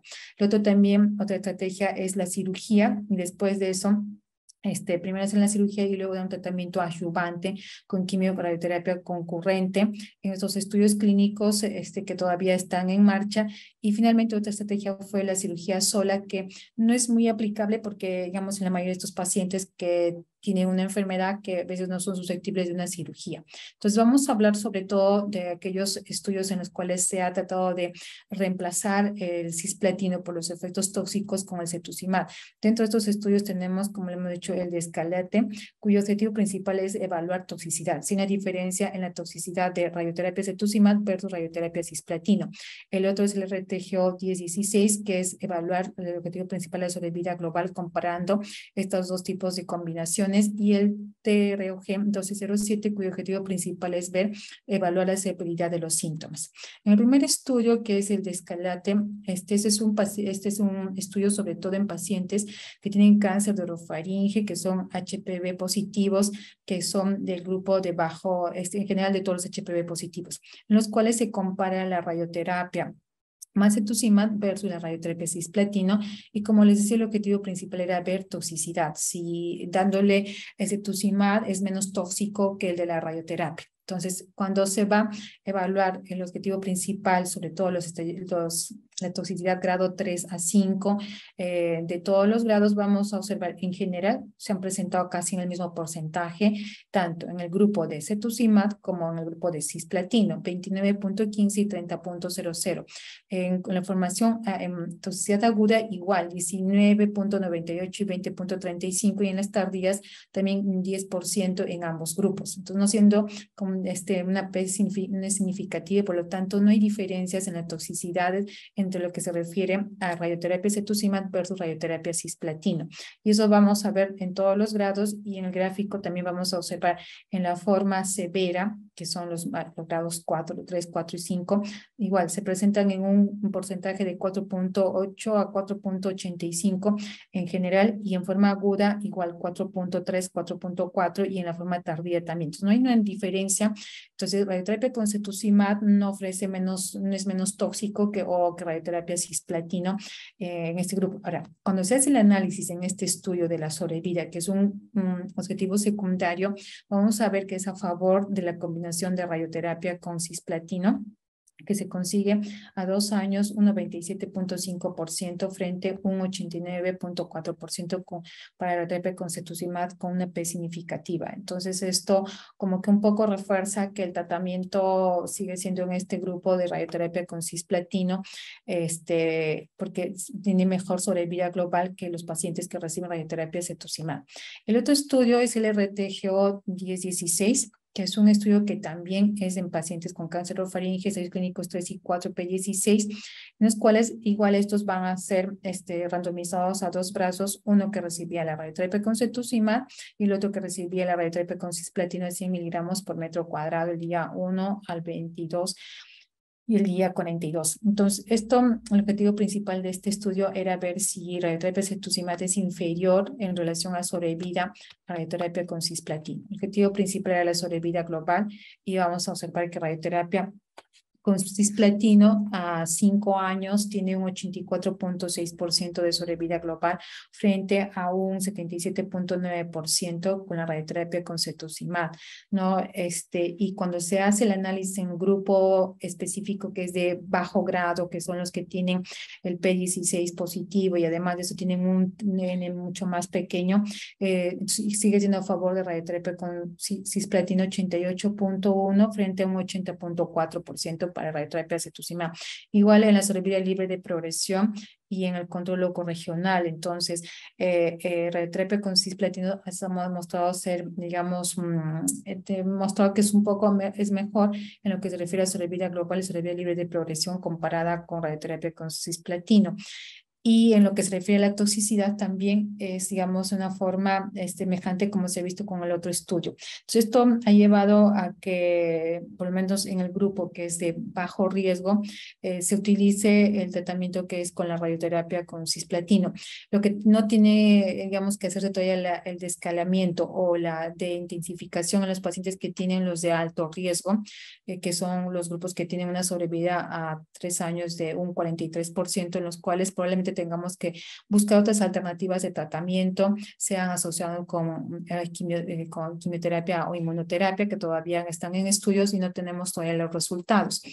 El otro es que eh, además de eso, se ha visto que los pacientes que tienen el HPV negativo en cáncer de orofaringe tienen una alta sobreexpresión del EGF, del factor de crecimiento vascular y también otros biomarcadores como son el P53 o la, este, el P3 quinasa que les hacen mucho más resistentes y que probablemente, por ejemplo, en la forma metastásica se tiene que combinar la quimioterapia en base a cisplatino con algún anticuerpo contra el EGFR como el cetuximab, como el cetuximab o el y en un futuro la utilización de la inmunoterapia. Entonces, tenemos como conclusiones en este manejo de lo que es el cáncer orofaringe, este, que la quimioterapia y radioterapia concurrente sigue siendo el estándar de tratamiento en cáncer de cabeza y cuello localmente avanzado y también en el grupo que son de orofaringe de bajo riesgo.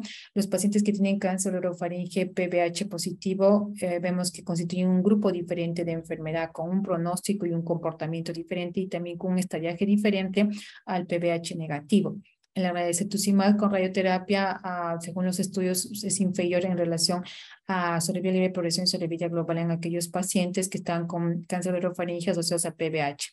Y cetuximab es una alternativa para aquellos pacientes que no puedan calificar para el uso de tratamiento con cisplatino altas dosis y el nuevo sistema de estallaje del cáncer de orofaringe no afecta esas decisiones todavía de tratamiento. Seguimos siendo con los tratamientos este, establecidos y hay una necesidad de búsqueda de biomarcadores para poder definir aquellos pacientes o poder seleccionar aquellos pacientes que se puedan beneficiar de uno o de otro tipo de tratamiento, disminuyendo la toxicidad, pero también manteniendo la efectividad en el control de la enfermedad. Muchas gracias. Ah, y el otro, antes de terminar, era que, bueno, volverles a recalcar que en lo que es el manejo de neoplasias de cáncer de cabeza y cuello, sigue siendo importante el manejo en equipo multidisciplinario. Eh, todos tenemos cada uno nuestro rol eh, de acuerdo a lo a la especialidad, pero eh, se implica realmente un manejo multidisciplinario, no solamente la parte de cirugía o de medicina oncológico, de radioterapia, también incluye incluso desde este, asistente social, nutrición, este, foniatría, tratamiento del dolor, este, enfermería, patología y también sobre todo los cirujanos maxilofaciales. Entonces es un tratamiento multidisciplinario o el de cabeza y cuello. Muchas gracias y bueno, estamos abiertos a sus preguntas. Muchas gracias, doctora Olivera. Seguidamente vamos a tener la palabra al doctor eh, Jonathan Rodríguez, cirujano oncólogo de cabeza y cuello, quien eh, ha tenido su formación, ¿no? tanto en el Instituto Regional de Enfermedades Neoplásicas eh, del Norte, ¿no? como en el Instituto Nacional de Enfermedades Neoplásicas. Bienvenido, doctor Rodríguez, ¿no? y lo dejo en la palabra con el tema de cirugía de rescate. Ahora eh, es cuando. Adelante, doctor Rodríguez. Muy buenas noches, muchas gracias por, por la presentación, doctor Sandro. Eh, muy buenas noches con, con todos los panelistas eh, y con el público que está presente, ¿no? A esta hora de la noche, ya casi las nueve de la noche, trataré de ser breve en mi ponencia, este, para agradecer a, a, la Sociedad Peruana de Cancerología y en especial al doctor Salas por haber tenido la amabilidad de, de invitarme a participar de este evento académico. Estoy realmente honrado de, de formar parte de este panel esta noche. Bueno, empezaremos con la presentación.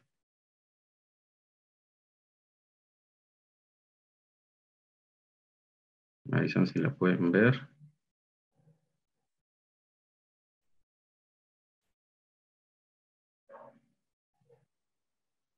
Sí se visualiza, sí se ve, ¿verdad?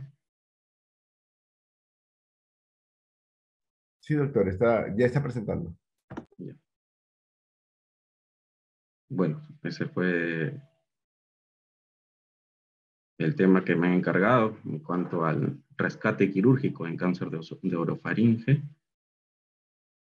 Ese es el, flyer del evento y la pregunta que, se ha hecho para resolver este tema es cuándo hacerlo, ¿no? Es una pregunta bastante abierta, es una pregunta importante y una pregunta que vamos a tratar de, de responderla con toda la, literatura que, he logrado recabar. ¿No? y con la experiencia de todo el panel también, porque esta es una pregunta que no solo la va a responder un cirujano, ¿no? La va a responder un equipo multidisciplinario, ¿no? Cuando sea la ocasión. Ah, en cuanto a las generalidades, como ya vimos, la historia natural del cáncer de orofaringe o el cáncer de cabeza y cuello en general está cambiando, ¿no? Está cambiando, los pacientes son cada vez más jóvenes, ya no es solo el tabaco un factor de riesgo en el alcohol, ahora se asuma el virus del papiloma humano y los pacientes son distintos. Por lo tanto, y la incidencia de este cáncer está aumentando a nivel mundial, por lo tanto, van a haber muchas más pacientes que requieran cirugía de rescate, ¿no? Y esto va a aumentar la incidencia, ¿no? Como sabemos, en forma general, cuando un paciente con cáncer de células camosas de cabeza y cuello recurre, su pronóstico no es favorable, no es muy bueno, ¿verdad? Aproximadamente puede llegar hasta un 50% de recurrencia después del tratamiento de quimio, radioterapia o radioterapia en los estadios 3 y 4. ¿no? Hay reportes eh, en cuanto a solo cáncer de orofaringe, la tasa de recurrencia después de quimio, radioterapia de entre un 10 y un 11% en en un centro en, en, Europa y otro en Estados Unidos que han reportado aproximadamente esa, esa tasa de recurrencia. ¿no? Y entonces, para estos pacientes que recurren o persisten la enfermedad, ¿qué terapia le ofrecemos? ¿no? ¿Qué tratamiento le vamos a ofrecer? Bueno, acá viene la cirugía de rescate como una de las probablemente últimas opciones que tenga un paciente y una opción que le puede brindar este, curación, tratamiento con intención curativa o que le mejore la sobrevida.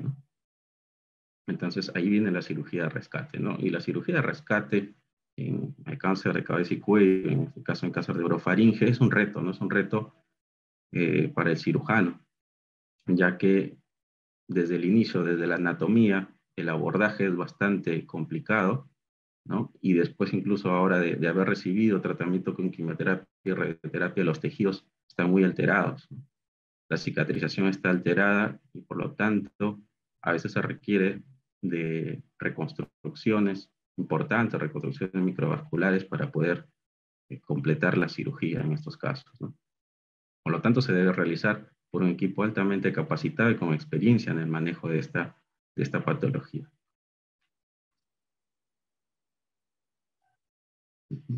NSCN nos dice un poco de cuándo debemos este, de cuándo debemos plantearnos cirugía en el paciente, tanto paciente con recurrencia o persistencia de enfermedad, ya sea loco regionalmente, que haya recibido no radioterapia, ¿no? Y que sea resecable, debe ir a cirugía como primer paso de tratamiento, ¿no? Al igual que a los pacientes que hayan recibido radioterapia o quimioradioterapia, que sean resecables, deben ir a cirugía como primera opción de tratamiento.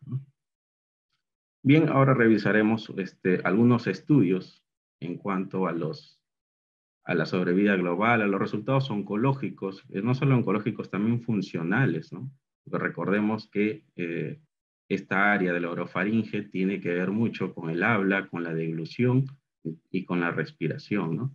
Y son funciones que debemos tratar de preservar este, al momento de realizar un tratamiento, ya sea con quimioradioterapia o con cirugía, ¿no? Y ese también es otro reto este, para el tratamiento de estos pacientes, para el manejo de estos pacientes. ¿no? Este estudio de Patel eh, que se realizó, eh, que se publicó en el año 2015, ¿no? acerca de la cirugía de rescate para el cáncer de orofaringe localmente recurrente, se hizo en, en Toronto, Canadá, y bueno, es un estudio retrospectivo donde se evaluó a 122 pacientes que, que hicieron recurrencia, pero de estos solamente 34 tuvo la oportunidad de tener cirugía de rescate. ¿De acuerdo? El objetivo de este estudio fue determinar la tasa de, éxito de la cirugía de rescate ¿no? para este cáncer localmente recurrente, cáncer de, orofaringe localmente recurrente, y los factores que influyen en, este resultado, ¿no? la sobrevida. Estas es alguna de las características de los pacientes, ¿no? Este, la mayoría fueron amígdala y base de lengua, el mayor porcentaje, eran entre T2 y, T3, las recurrencias, acá hablamos de las recurrencias, eran T2, T3, el compromiso ganglionar entre N1 y N2, y el estadio entre estadio 3 y 4. ¿no? Recordemos que acá se estadio con la JCC de la séptima edición. Y el tratamiento previo recibido, principalmente recibieron radioterapia sola y solo nueve este, quimioradioterapia concurrente. ¿no? de las cirugías de rescate que se le practicó a esos 34 pacientes como enfermedad persistente o recurrente, generalmente fueron recurrentes, 24 pacientes, la gran mayoría, ¿no? con cirugía de orofaringectomía, que en algunos requirieron mandibulotomía, la gran mayoría mandibulotomía para llegar, para acceder a la, región anatómica, mandibulectomía en cinco casos, eh, solo en un caso se pudo hacer resección transoral y dos casos tuvo que realizarse laringectomía total. y la reconstrucción principalmente fue con este, colgajos microquirúrgicos. La estancia hospitalaria además fue más o menos de 20 días ¿no? Y bueno, los resultados, este, algunos resultados como son la dependencia de traqueotomía, son cinco pacientes después de, la cirugía requirió traqueotomía, este, quedaron con traqueotomía permanente, eh, fue mucho mayor aquellos pacientes que necesitaron de gastrostomía, razón de gastrostomía, 22 pacientes. Y en cuanto a las complicaciones, que fueron generalmente a nivel local, como fístula, infección de herida operatoria, fue un 44.1%. Y los resultados oncológicos, acá sí vamos a ver, en cuanto a los que recibieron cirugía de rescate y los que no recibieron cirugía de rescate, pues vemos que la curva azul, que es para los que recibieron cirugía de rescate, la sobrevida global a los 2 y 3 años fue de 62% a 41% y al quinto año 25%. Y comparamos con los, con los que no recibieron, pues la, diferencia es, es, bastante, fue pobre, ¿no? La sobrevida global de aquellos pacientes que no, no se pudo realizar cirugía de rescate, ¿no? 19% a los dos años, 9% a los tres años y 2% de sobrevida a los cinco años, ¿no? Asimismo, la, la tasa de, de, sobrevida libre de recurrencia fue entre el 28 y el 19%, ¿no? Para estos pacientes y todo esto fue influenciado por la presencia de márgenes quirúrgicos cercanos o comprometidos, el compromiso ganglionar y la invasión linfovascular, con, alta significancia estadística, que en aquellos pacientes que se presentó después de la cirugía esto, su sobrevida libre de recurrencia y su sobrevida global disminuyeron este, drásticamente, ¿no? También se evaluó a estos pacientes en cuanto a la presencia del P16 positivo y P16 negativo, pero sin tener, acá como vemos ahí, las curvas están muy cercas, en los dos primeros años, este, la, la tasa libre de recurrencia para los P16 positivos fue de 21%, para los P16 negativos fue de 12%, sin significancia estadística, ¿no? Como vemos ahí, las curvas están bien cerca, por lo tanto, acá se infirió de que eh, en las recurrencias, eh, el estatus P16, sea positivo o negativo, no influye mucho en la, en sobrevida global de estos pacientes, en la sobrevida libre de recurrencia, ¿no? Y así reciben cirugía de rescate, ¿no? Es lo que se infirió. Y vamos a ver más adelante un, un poco más acerca del estatus de P16 y cirugía de rescate, ¿no? Influye, ¿no? En la sobrevida al final en, pacientes con recurrencia. Pero en pacientes, como ya hemos visto previamente con tratamiento inicial, el P16 tiene un factor pronóstico importante. Acá tenemos otro artículo, en el cual es un estudio retrospectivo también, que se hizo en el John Hopkins Institute en el año, publicado en el año 2015, donde se evaluó este, la sobrevida libre de recurrencia, también en pacientes que recibieron cirugía de rescate versus los que no recibieron cirugía de rescate, acá se encontró hasta un 74.9% en los primeros en, los primeros dos años y un 41.4% para los que no recibieron cirugía de rescate en los primeros dos años. ¿no? Disminuyó un poco para el, para el tercer año de evaluación, pero aún siendo alto la cirugía de rescate. ¿no? Y en cuanto a la positividad del, del BPH, positivo o negativo, como vemos acá, sean positivos o negativos, y si reciben cirugía de rescate, la sobrevida va a estar, es bastante importante, ¿no? Entre un 30 y un 40% en los primeros este, 12 meses y, y los primeros 24 o 36 meses de, de evaluación. Y acá hay otro estudio, que ya es un estudio multicéntrico, que también evalúa la cirugía de rescate en concordancia con el estatus P16. En este estudio se vio que el sitio de recurrencia más frecuente este, fue el loco regional para los P16 negativos. El sitio de recurrencia más frecuente eh, fue metastásico para los pacientes P16 positivos, ¿no? muy parecido al estudio que presentó el doctor Salas al final de su, de su ponencia.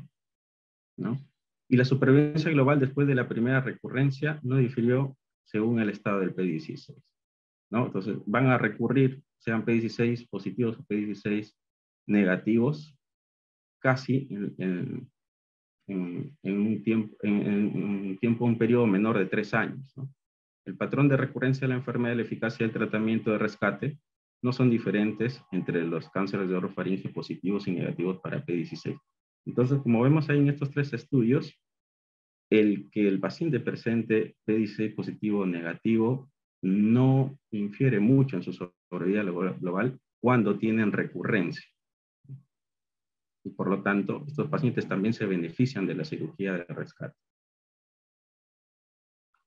Y en este estudio, ah, este estudio este, evaluó pacientes con cirugía de rescate, todos eran este, BPH positivos, ¿no? tratados solo con radioterapia. ¿no? solamente recibieron radioterapia, no quimio-radioterapia. Es un estudio de corte retrospectivo de 132 pacientes, donde el, objetivo principal fue evaluar la sobrevida global. Como vemos, a los dos años fue de 47% y a los cinco años fue de un 32%.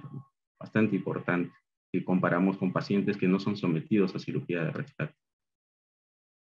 En este estudio también se vio, se, se, se clasificó en dos grupos a los pacientes para que reciban cirugía de rescate, ¿no? En un grupo que le llamaron el grupo de la recurrencia solitaria, en el cual estaban este, pacientes que tenían solo recurrencia local o pacientes que solo tenían recurrencia regional ganglionar o pacientes que tenían oligometástasis, ¿no? Tendremos, eh, lo clasificaron como oligometástasis menor de tres depósitos metastásicos en un solo órgano, ¿no? En una sola región de ganglios linfáticos. Ahí estaban, esos tipos de pacientes estaban metidos en ese grupo de eh, recurrencia solitaria y el otro grupo de recurrencia multisitio estaba conformado por los pacientes con recurrencia loco-regional en el mismo momento y los pacientes con metástasis a distancia multivisceral. ¿De acuerdo?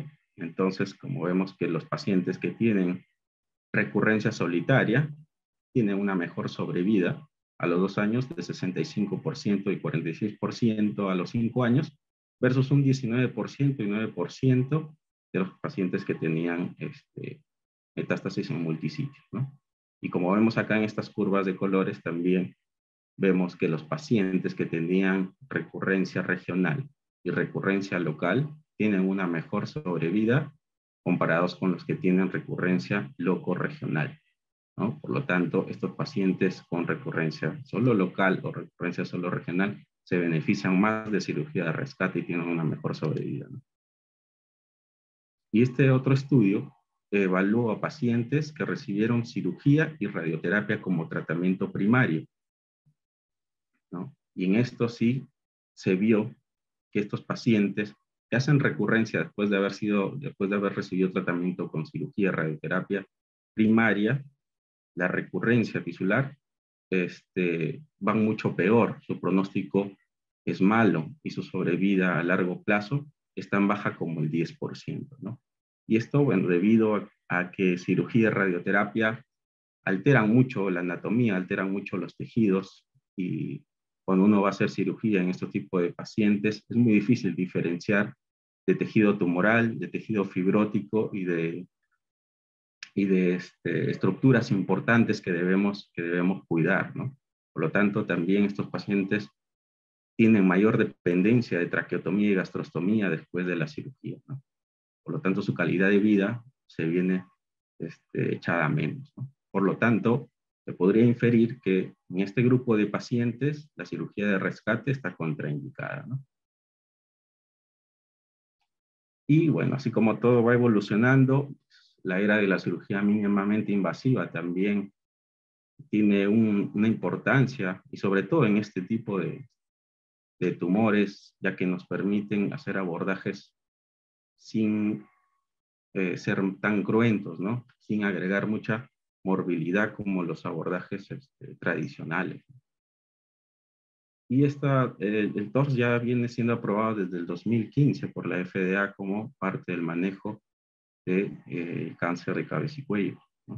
Y acá hay un, estudio, por ejemplo, este estudio fue hecho en el, 2013, donde evaluaron a 128 pacientes y los dividieron en dos grupos, un grupo que, que fue a torso, cirugía transoral asistida por robot, y, y, la técnica abierta, también un grupo parecido.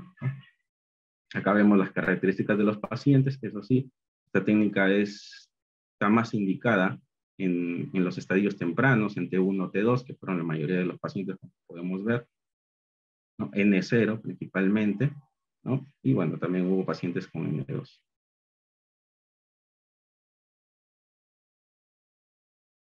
Y bueno, acá se, se evaluó, se evaluó este, diversos factores como la infección posoperatoria, la presencia de fístula, el edema de la vía aérea, el sangrado posoperatorio, el estado de los márgenes entre TORS y cirugía abierta, eh, la estancia hospitalaria, el tiempo de, cirugía, el tiempo, la pérdida sanguínea.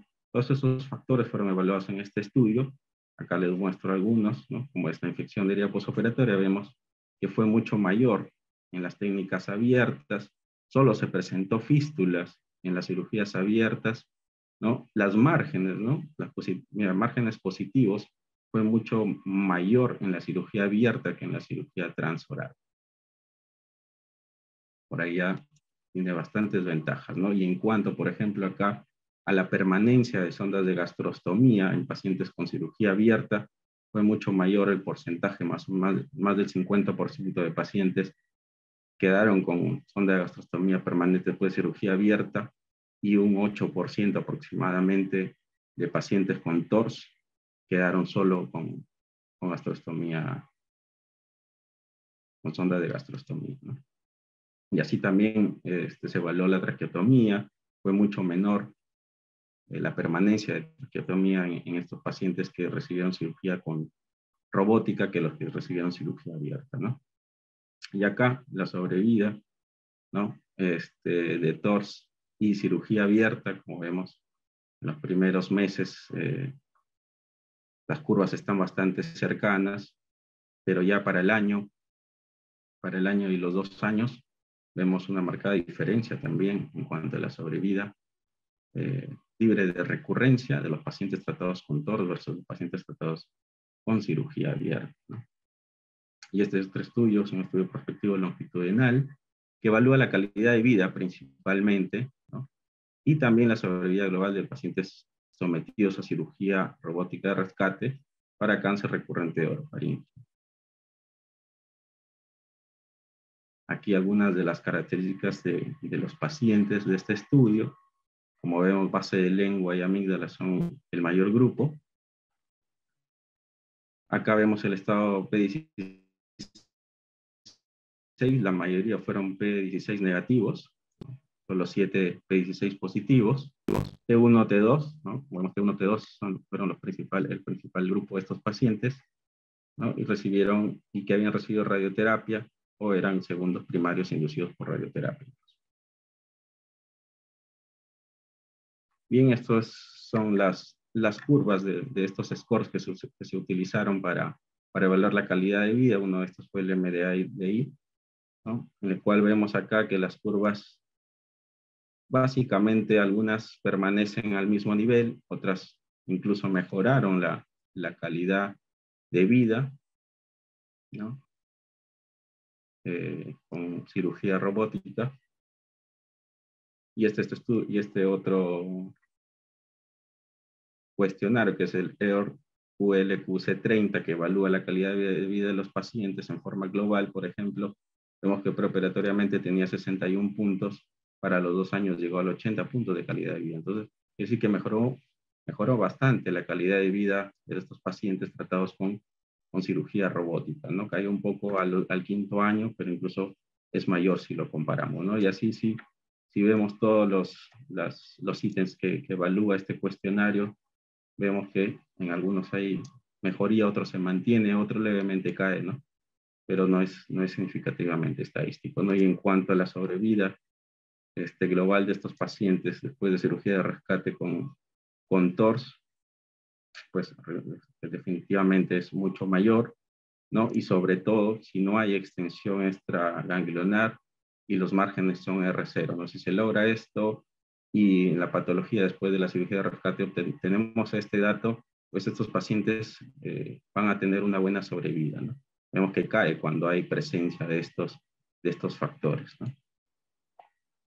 Entonces, la cirugía de rescate tiene un mayor peso para manejar pacientes con recurrencia de cáncer de orofaringe o persistencia de esta enfermedad, ¿no? Y como dije al principio, esto se tiene que evaluar de manera multidisciplinaria, ¿no?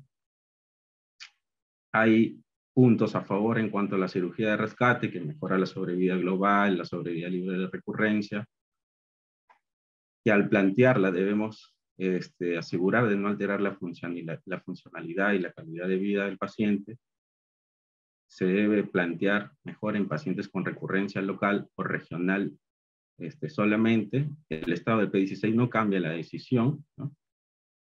Y bueno, si es que un paciente no es candidato a cirugía de rescate, siempre vamos a tener otras terapias, reirradiación, quimioterapia, inmunoterapia, ¿no? ir a ensayo clínico, ¿no? La reirradiación en paciente que ha recibido radioterapia y que, por ejemplo, tiene persistencia de enfermedad, la utilidad de una reirradiación en estos pacientes es muy pobre, ¿no? Ya que con el tratamiento previo se escogen clonas, clonas celulares resistentes a la, a la radioterapia, ¿no? Por lo tanto, la utilidad es muy baja, ¿no? Eh, ¿Qué hacer para seleccionar al paciente adecuado, al paciente ideal para, este, para estos procedimientos?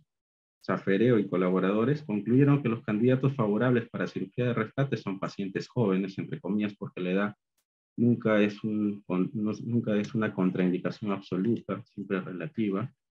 Intervalos libres de enfermedad, o sea que un paciente a mayor intervalo libre de enfermedad este, se beneficia mejor de una cirugía de rescate.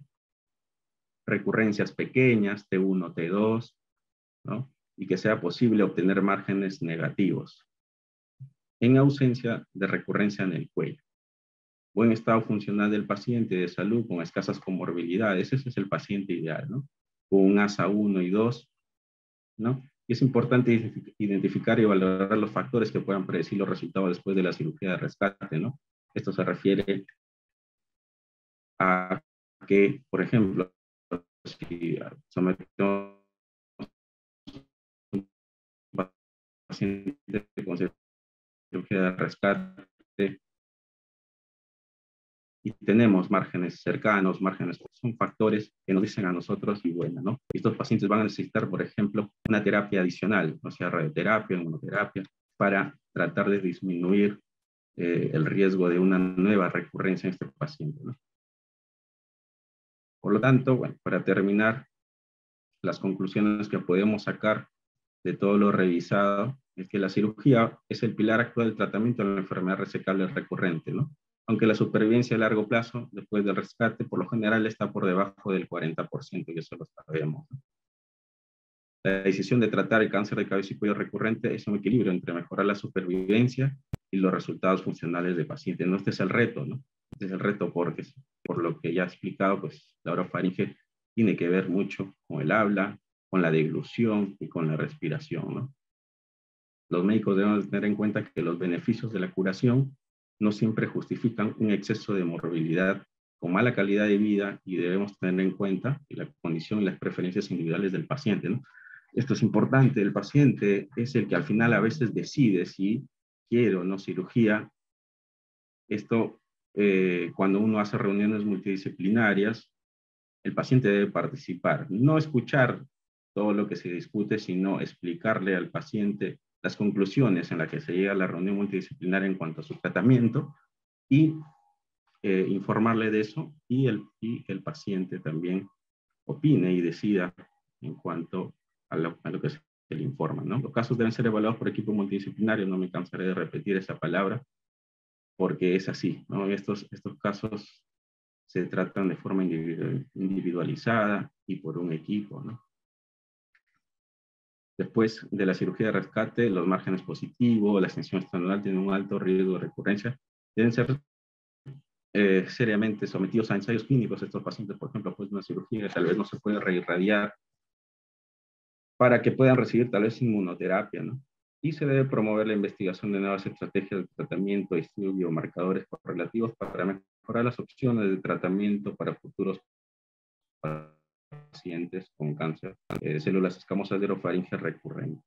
Eso es lo que hay que hacer porque a veces no se puede dar cirugía y debemos ofrecerle otro tratamiento a nuestros pacientes. Muchas gracias. Me quedo con, siempre esta, este pensamiento que hace falta tres meses para aprender a hacer una operación, tres años para saber cuándo hacerla y 30 años para saber cuándo no hacerla, ¿no? tiene que ver mucho este, un antagonista a la, a la, pregunta que dice cuándo hacerla, ¿no? Cuándo hacer este tipo de cirugía. Muchas gracias, doctor. Eh, una excelente conferencia. Si podría dejar de compartir, por favor. Muy amable. Bien, estamos ya pasados de horas, sin embargo, hay preguntas en el chat y eh, nos comprometemos a absolverlas todas. Eh, tenemos preguntas del de el doctor Leonidas Flores Ramírez ¿no? y otro asistente anónimo referentes a eh, la vacuna de PVH. Yo creo que las podemos eh, resumir en una, ¿no? ya que eh, en, en, un caso se refiere a la efectividad respecto a las dosis, ¿no? ¿qué, ¿qué, hay respecto a... yo sé, por ejemplo, que en Costa Rica para PVH en cervix se ha ensayado solamente realizar no las, las, los, los, tres refuerzos, sino con dos, y se ha visto que ha sido eficiente, ¿no? ¿Qué hay para eh, cáncer de cabeza y cuello? ¿Cuántas dosis serían eh, suficientes para poder proteger a la población? Y si eh, establecer una vacunación masiva y obligatoria para hombres y mujeres podría ser la solución, por lo menos para parte de esta población, porque vemos que no todos los cánceres están relacionados en cabeza y cuello, en faringe particularmente, con la infección por PVH, ¿no? Eh, ah, dentro de la pregunta eh, se encuentra, ¿no? Eh, si estamos esperando, entiendo que en nuestro medio, ¿no? Un aumento de cáncer de orofaringe PBH positivo en gente joven. No sé quién podría empezar la palabra, iremos por el orden de presentación, ¿no? ¿El doctor Salas? Eh, está sin micro. Sí, he escuchado las preguntas y realmente creo que las dos son interesantes. El resumen de la primera y respecto de la vacunación, también estuve revisando al respecto y, la literatura dice que hay algunas vacunas, básicamente tres tipos de vacunas para eh, el, el, problema papilomavirus. La primera vacuna es una bivalente, y me permito leer esto, es una bivalente para PBH 16 y 18. La segunda tipo de vacuna es una tetravalente para esos casos del 6, 11, 16 y 18. Recordémonos que 6 y 11 son para lesiones principalmente benignas en el tracto em, eh, genital y ocasionalmente papilomatosis laringia. Y la, tercera vacuna cubre nueve, tipos para, de PBH, 6, 11, 16, 18, 31, 33, 45, 52 y 58. Lo que suena en teoría ah, aplicable no lo es en la práctica. Estos tipos de vacunación están dirigidas para problemas eh, genitales directamente. Hay algunos estudios que confirman de que eh, sencillamente queda en, mm, la, en el concepto teórico, pero no hay una definición práctica para aplicar vacunas para prevenir cáncer de, em, de, orofaringe. Em, eso es de, de un lado. De otro lado, si se espera incremento o no en nuestro medio, Probablemente no fui enfático en comentarlo, pero el incremento está dirigido o está establecido principalmente en los países desarrollados. En países subdesarrollados, y lo, lo recalcó también la, doctora Olivera, eh, como el norte de África, como en Sudamérica, lo que más tenemos es persistencia de mortalidad por la enfermedad, pero no un incremento como se nota en Europa, principalmente Europa Occidental, Estados Unidos, donde, repito, los países desarrollados sí presentan este tipo de incremento importante en el cáncer de, de orofaringe.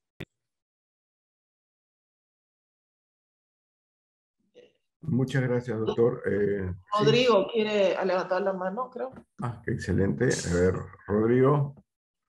Ah, muy bien, e, excepcionalmente yo tuve la suerte de participar como subinvestigador en el primer proyecto de vacunas que fue eh, de la vacuna bivalente. Eh, fui subinvestigador por dos años en una una ONG localizada en el centro de Lima, cuando yo recién había egresado. Y fue fantástico porque el estudio estaba programado para cuatro años y en el análisis interino que se hizo a nivel mundial eh, se decidió darle la aprobación. Fue bueno porque me invitaron a una cena muy bonita dentro del laboratorio, todos estaban muy contentos y yo me quedé sin trabajo. este, pero eh, es maravilloso lo que hizo la vacuna. O sea, eh, reclutó acá en Perú 200 varones, 200 mujeres. Fue, eh, los resultados aparentemente en este análisis interino fueron fabulosos. y la protección es para, era, en ese momento era básicamente para infección, para infección primaria.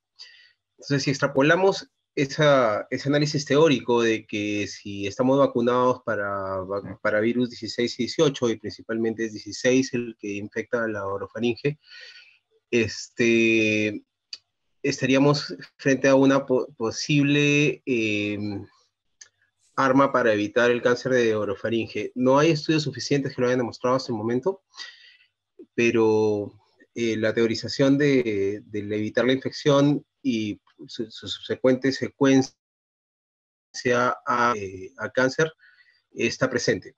Y lo otro es que este mismo estudio, por cuestiones regulatorias en eh, Reino Unido, se llevó a cabo en hombres y mujeres.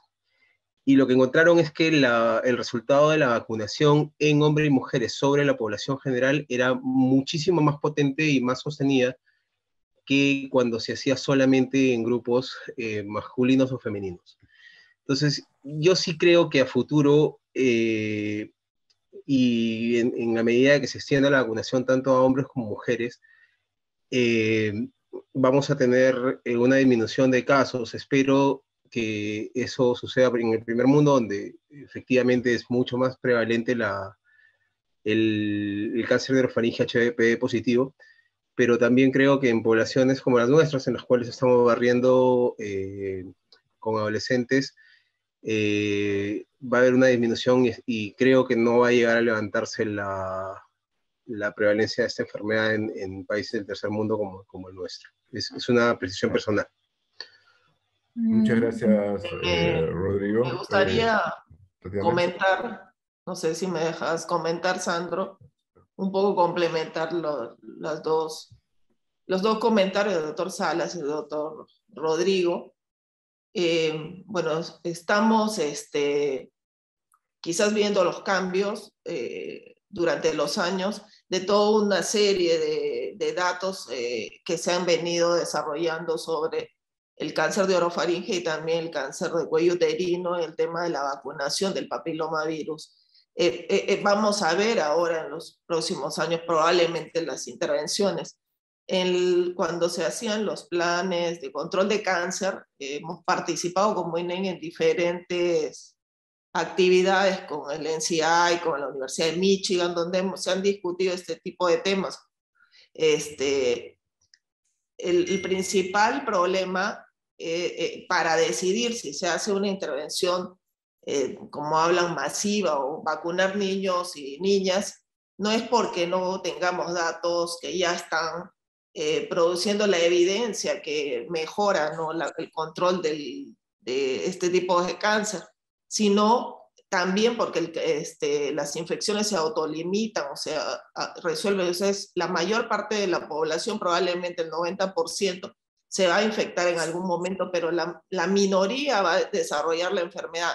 Entonces, ese es uno de los argumentos por lo cual no se habían eh, intervenido en forma masiva. Sin embargo, este, hay, hay datos que se han desarrollado en los cuales se ha recomendado vacunación de niños y, niñas eh, entre 9 y 14 años, eh, porque dando la, oportunidad a que se controle en su totalidad el cáncer, tanto de, cuello uterino, tanto de orofaringe. Este, e, e, este concepto, la única limitación en realidad es el problema económico, ¿no? Porque la vacunación masiva no es este, tan accesible económicamente en países en, en vías de desarrollo, en países en, en pobreza. Por eso se hablaba de intervenciones focalizadas asociadas a a, poblaciones eh, con mayor riesgo, con, con mayores, este, donde hay mayor incidencia de este tipo de patologías. Entonces, quizás ya tengamos información que nos permita desarrollar intervenciones, lo que falta es cómo y cómo lograr que esa intervención sea costo efectiva o cómo lograr que esa intervención realmente se llegue a la población que queremos controlar eh, la enfermedad, ¿no? Entonces, esas son las discusiones, pero yo creo que la vacunación es una de las estrategias este, más importantes para la prevención de este tipo de cáncer. ¿no? Muchas Eh, gracias, doctora. Este, me sí, este, quería añadir justo con la vacunación, yo igual coincido con los doctores que la vacunación va a ser la única forma de, probablemente, de prevenir no solamente el cáncer de cervix, porque esta vacuna no solamente es para el cáncer de cervix, porque el HPV está asociado con cervix, con orofaringe, con ano, entonces, Pene, este, pene también, y bien claro, importante, entonces, por PBH eso que- acá, encontramos muy alto PBH en pene en el Perú, 85% y eso lo hemos hecho en el INE. Ujú, Y entonces eh, la- las vacunas han ido también como un poco evolucionando porque al principio era la bivalente, tetravalente y actualmente la que se utilizando es la nonavalente para todas las, este, en- realmente en los países europeos les ponen también a los niños, ¿no? Tanto niños y niñas, nosotros en Perú solamente estamos ahorita enfocados en las niñas y yo creo que con eso probablemente baje a nivel eh, mundial esto que está aumentando, porque lo que ahorita son de gente joven que no está vacunada, porque en todos los sitios mayormente le están vacunando a los niños hasta los 12, 14 años. Entonces, la infección ahorita es de gente que tiene 30, 33 años que no ha sido vacunada a nivel mundial, no ha sido expuesta a esta vacuna. Muchas gracias, doc- do- No, doctora. incluso se estaban evaluando el número de dosis, como hablaba, no, no sé si hablaba Sandro. Sí, sí, sí, Dos sí. dosis que se, era suficientemente efectiva, incluso se Por, trataba por, de por costos, dosis justamente, por costos. por o sea, eso- costos, sí. por costos, era justamente lo que, lo que, lo que se estaba barajando, ¿no? Bueno, eh, creo que eh, ha ha sido ampliamente discutido el, el PDH, ¿no? Y eh, todos estamos de acuerdo en que eh, los datos van a ser en el transcurso del tiempo probablemente claros. En el caso de, eh, eh, va a depender mucho de la prevalencia de, de cuánto cáncer asociado a PDH realmente tengamos en orofaringe, ¿no? Eh, y eso mm, eh, nos lleva a la pregunta si es que tenemos ya información que se haya desarrollado respe- de respecto a de nuestros cánceres de orofaringe, cuál es la prevalencia asociada a PBH y si de- se hace de rutina P16. ¿Alguien tiene el dato? Yo he Ah, trabajado ¿me permite, eh, con, Sandro? con ¿Me grupo, permites? este, pene, pero eh, orofaringe no. ¿Me permites el comentario? Sí, claro, adelante. Eh, datos no tenemos a la mano, pero sí creo que se abre un buen y, y muy interesante campo de investigación, de conocer realmente nuestras, nuestras, ah, nuestros números. De un tiempo a esta parte, probablemente en los últimos eh, tres o cuatro años quizá, en los informes de patología hicimos alguna coordinación para que de, de rutina sea procesado P16 no solamente en el área de orofaringe, sino también en lo que son lesiones de cavidad oral. Y eso valdría la pena de alguna manera revisarlo para tener nuestros propios números. Esta misma conversación la tenía con la doctora Pamela Mora hace algunos, algunos días y tomando el comentario de la doctora Vidaurre de que mucha gente se contagia y pocos son los de enfermedad, yo le hacía la pregunta, bueno, de repente hay algún componente genético que predispone directamente a que a pesar de que muchos van a tener contacto, pocos son los que van a, realizar la enfermedad. Y esa pregunta quedó un poco en, en, el aire. Y de ahí también surgió la conversación de poder revisar quizás nuestra patología, nuestras piezas operatorias de tiempo atrás y sacar cuáles son nuestros reales números en función de la positividad que podamos tener en eh, respecto al PBH como causa probable de las neoplasias en el área de cabeza y cuello y en especial en el área de orofaringe. Muchas gracias, doctor. Eh, tenemos este, eh, eh, incorporado al panel de discusión al doctor Lachos, le damos la bienvenida. Disculpa, Alberto, no haber podido que dártela antes. Eh, y eh, bueno, y justamente la siguiente pregunta es del doctor eh, Alberto Lachos, ¿no? que nos da pie a, estamos justamente en el punto de la discusión, ¿no? la pregunta que nos plantea, ¿no? ¿Qué pasa con las adenopatías de primarios desconocidos asociados a P16? Bien, o sea, e, eso nos pone en un, en un cuestionamiento. estamos hablando de carcinoma orofaringe, ¿no? Y, aquí nos plantea eh, la presencia de la positividad para P16. Sabemos que la positividad para P16 es un indicador indirecto de la presencia de PBH, ¿no? Eh, lo estamos haciendo de rutina para todos los carcinomas epidermoides. O sea, si yo encuentro un carcinoma epidermoide, debo hacerle P16. Ese P16 o la presencia de PBH va a cambiar el enfoque de tratamiento. O sea, vamos a darle un tratamiento distinto por ser P16 positivo. Entonces, eh, eh, paso la pregunta este, al panel de discusión.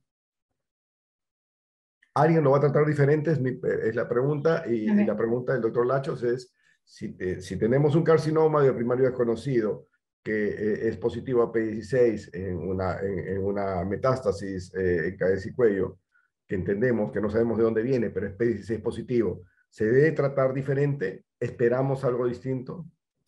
o se debe tratar como orofaringe, ¿no? Por el momento... O se debe tratar como orofaringe. por el momento no hay un tratamiento diferente si es un PBH positivo o PBH negativo. Según los estudios, no hay un tratamiento que yo al orofaringe que es positivo o negativo, negativo le voy a cambiar el tratamiento. Sigue siendo el tratamiento con quimio-radioterapia concurrente, este, con cisplatino altas dosis, que ya este, en los estudios lo han demostrado, incluso en los grupos pequeños de bajo riesgo, es mucho mejor que el cetuximab. O sea, no cambia si es positivo o negativo. Lo que sabemos es que los que son positivos van a tener mejor respuesta, mejor sobrevida que los pacientes que tienen HPV negativo. Entonces, si uno tiene una adenopatía de un primario no conocido y es un PB16, probablemente sea más como de un tratar como una orofaringe, porque el P16 es como un marcador subrogado de que pueda ser un cáncer de orofaringe, ¿no? Entonces, es no, pero no, sigue siendo quimio con radioterapia concurrente. Bien, quirúrgicamente hay alguna observación o respecto a radioterapia? Sí, yo creo que primero habría que definir qué cosa es una metástasis cervical de primario no definido, ¿no? En la medida de que cuando en la primera evaluación yo no encuentro una localización, una lesión primaria en el área al que le corresponde el drenaje eh, del ganglio encontrado, debo pasar a una, una segunda etapa de evaluación, es decir, de repente pedirle imágenes, al paciente y si aún no tengo una evidencia de un primario, ese paciente debe tener examen bajo anestesia. Hay quienes clásicamente se hacían panendoscopía en sala de operaciones e inclusive con biopsias ciegas. Han habido casos y han habido eh, corrientes de hacer amidalectomía para poder tener mayor Ah, tejido eh, para poder estudiarlo y, tratar de encontrar un primario. En algunos casos eso ha dado resultado. Y si no, se tomaban muestras ciegas de la nasofaringe, de la hipofaringe, base de lengua y, como repito, amidalectomías.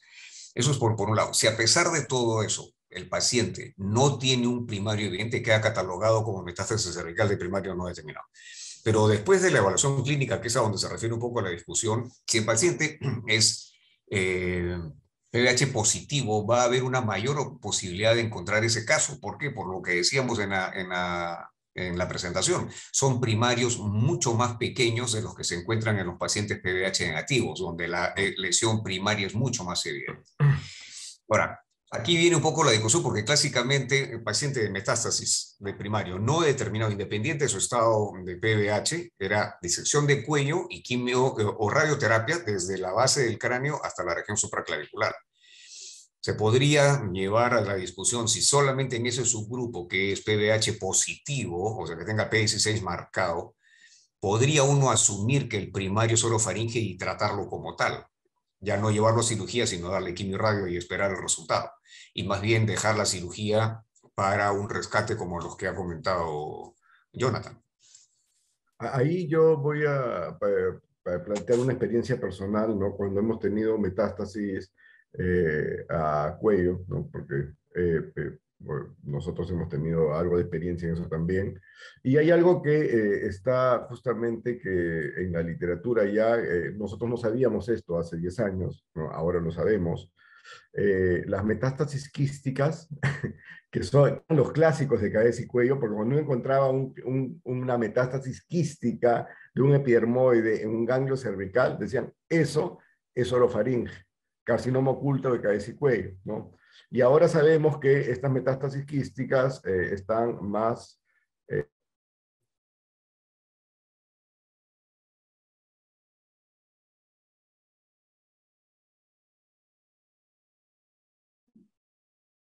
¿Se fue el audio?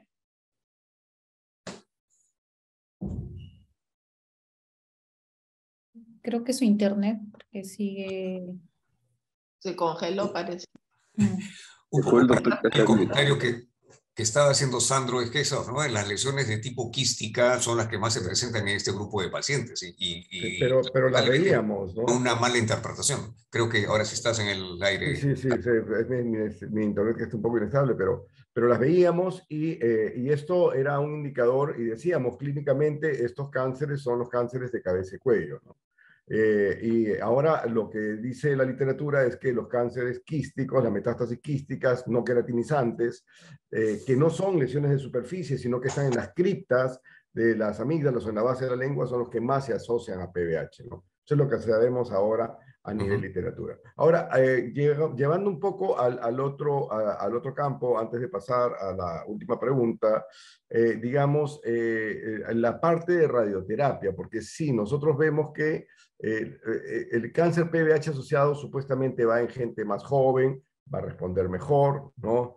Eh, ¿Habría alguna variación en la elección de cuándo eh, hacer un tratamiento adyuvante con radioterapia? Porque si tenemos una, una resección que sabemos que está muy pegada a bordes, yo supongo que la elección de radioterapia es muy importante, ¿no? Pero eh, nos ha mencionado justamente Jonathan el hecho de que probablemente en una cirugía de rescate, en un carcinoma que podría responder, eh, va a dificultar el acceso. Entonces, en este caso, ¿cuál es el rol de la, de la, de la radioterapia y, si el, y el determinar si es PBH positivo o negativo podría variar en algo la conducta?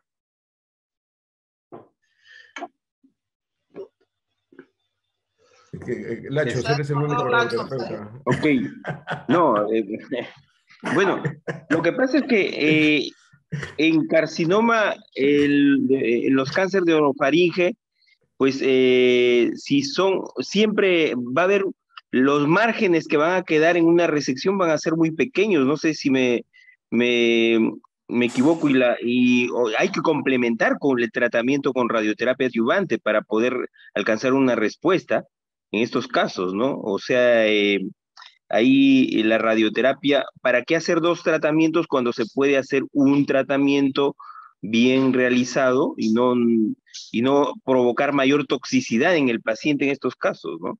O sea, eh, a eso me refiero, ¿no? no Desde el punto de vista quirúrgico, los estadios clínicos 1 se pueden resecar, pero ya tumores más grandes van a, eh, van a estar prácticamente en los márgenes de contacto y va a haber, va a haber este doble tratamiento. No sé, el doctor Salas, eh, qué opina al respecto, pero eh, si son altamente sensibles, si se pueden controlar la, la radio, incluso hay tratamientos con braquiterapia, hay, hay escuelas que hacen braquiterapia a, la lesión, en, en lesiones en orofaringe, claro, estos eh, lo hacen en centros que tienen expertise en la, en la técnica de hacer braquiterapia de, de orofaringe, ¿no? Pero ahí yo me quedo un poco confundido, porque teóricamente eh, el cáncer de, eh, asociado a PBH va a responder mejor. Entiendo que al tratamiento también de quimioterapia, ¿no? Y introduzco también la pregunta del doctor Rolly Jaliaga acerca, a ver, para la doctora Olivera, sobre eh, ¿no? Eh, eh, la utilización en, estos casos eh, de... Rollins nos está preguntando, o oh, disculpen, sino que este, sobre nimotuzumab en, en, cáncer de cabeza y cuello también y en estos casos. Entonces, sí, pero si va a responder bien si nosotros, yo entendí que si es PBH positivo, va a responder mejor.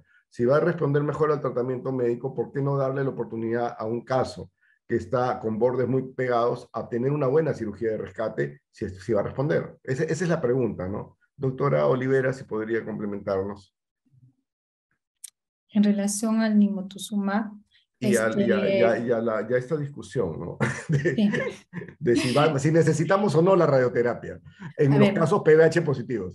Ya, a ver, en los, eh, el cáncer de orofaringe tenemos los pacientes que son de bajo riesgo, de riesgo intermedio y riesgo alto. Y según la nueva clasificación, también los de HPV positivos este, si tiene la indicación de la radioterapia, se tiene que dar la radioterapia conjuntamente con la quimioterapia, porque es la que ha visto que es el mejor opción de tratamiento. Ahora, se han tratado de hacer estrategias para poder disminuir la dosis de radioterapia, de cambiar en vez de quimioterapia a cetuximab o hacer solamente radioterapia sola, pero los estudios, por ejemplo, que están solamente con radioterapia sola, eh, que, que comparan el IMRT 70 centígrados en cinco semanas versus el IMRT con igual la misma dosis en seis semanas con eh, la quimioterapia semanal, esos van dando resultados a favor de la combinación. Ese es un fase 2 que está pasando recién a un estudio en fase 3. O sea, mientras tanto, seguimos con la radioterapia con las dosis que les dan los 70 centígrados más la quimioterapia, que puede ser la dosis semanal de 40 o la dosis que es la mejor, la de 100 miligramos por metro cuadrado. Entonces, eso es, este, eso es lo que, digamos, tendríamos que dar al paciente que tiene los bordes porque se van a beneficiar del tratamiento de la combinación, porque eso controla mejor la, este, la tasa de recurrencia loco regional y también el control. Yo estoy a favor de que le demos el tratamiento, pero por el momento no hay un tratamiento específico diferente porque todas las estrategias de destratificación, de intensificación, todavía, digamos, solamente han dado de la radioterapia con el cetuximab versus la radioterapia con cisplatino, que es igual a toxicidad y es mucho más, es mejor la radioterapia con cisplatino pero todavía no hay un cambio en que si es positivo es negativo, le voy a cambiar con otra medicina o le voy a cambiar con otra dosis de radioterapia. Los demás están en estudios clínicos. Ahora, en relación al nimotuzumab, es igual un anticuerpo que va contra el EGFR, que es una droga que la han desarrollado en, en Cuba y los estudios clínicos que les han hecho en cabeza y cuello solamente son en Cuba y en Canadá. No está un estudio multicéntrico, randomizado a nivel mundial y todavía no están en las guías. Entonces, yo personalmente no tengo la experiencia, en Perú no lo usamos, como le digo, solamente los estudios han sido en Cuba y en Canadá, entonces, en los cuales han visto los resultados ellos en 90 pacientes, que no van a compararse a todos los estudios que se han hecho con cisplatino o con cetuximab, que no son en 90 pacientes, son en un total, como les he mostrado, metaanálisis, que incluyen a 10.000 pacientes y son pacientes a nivel mundial y están, en, están indicadas las guías. Eh, Rodrigo ha levantado la mano. Ah, para comentarles, uh, el tratamiento estándar en cáncer de la orofaringe es la combinación de quimio y radioterapia, siendo la parte de radioterapia la más importante, desde mi punto de vista. Este, cuando estuve haciendo la residencia, tuvimos la visita de José Ceballos, es un peruano que está, en ese momento estaba en Universidad de North Carolina, eh, como jefe de cabeza y cuello y hace mucha investigación. Y él vino a presentarnos su experiencia en TORS en ese momento. Eh, tenían estupendos resultados para T1 y T2 y estaban en ese momento avanzando hacia operar tumores cada vez más grandes. Eh, el problema del, del, TORS es que requieres un robot y el robot te cuesta 2 millones. Entonces, no está eh, fácilmente accesible en muchos centros, no solamente de, Latinoamérica, sino también en el primer mundo. Es, eh, son lugares muy puntuales donde se puede desarrollar eso. Este, y él nos hablaba de que había un péndulo que iba de la parte quirúrgica a la parte médica y que ese, en este momento el péndulo del manejo del cáncer de orofaringe se está orientando a este, a, la cirugía, la cirugía robótica por supuesto. Este, sin embargo, después de unos años tuve la oportunidad de visitar el centro donde él se formó y habían algunos médicos que aún estaban haciendo TORS.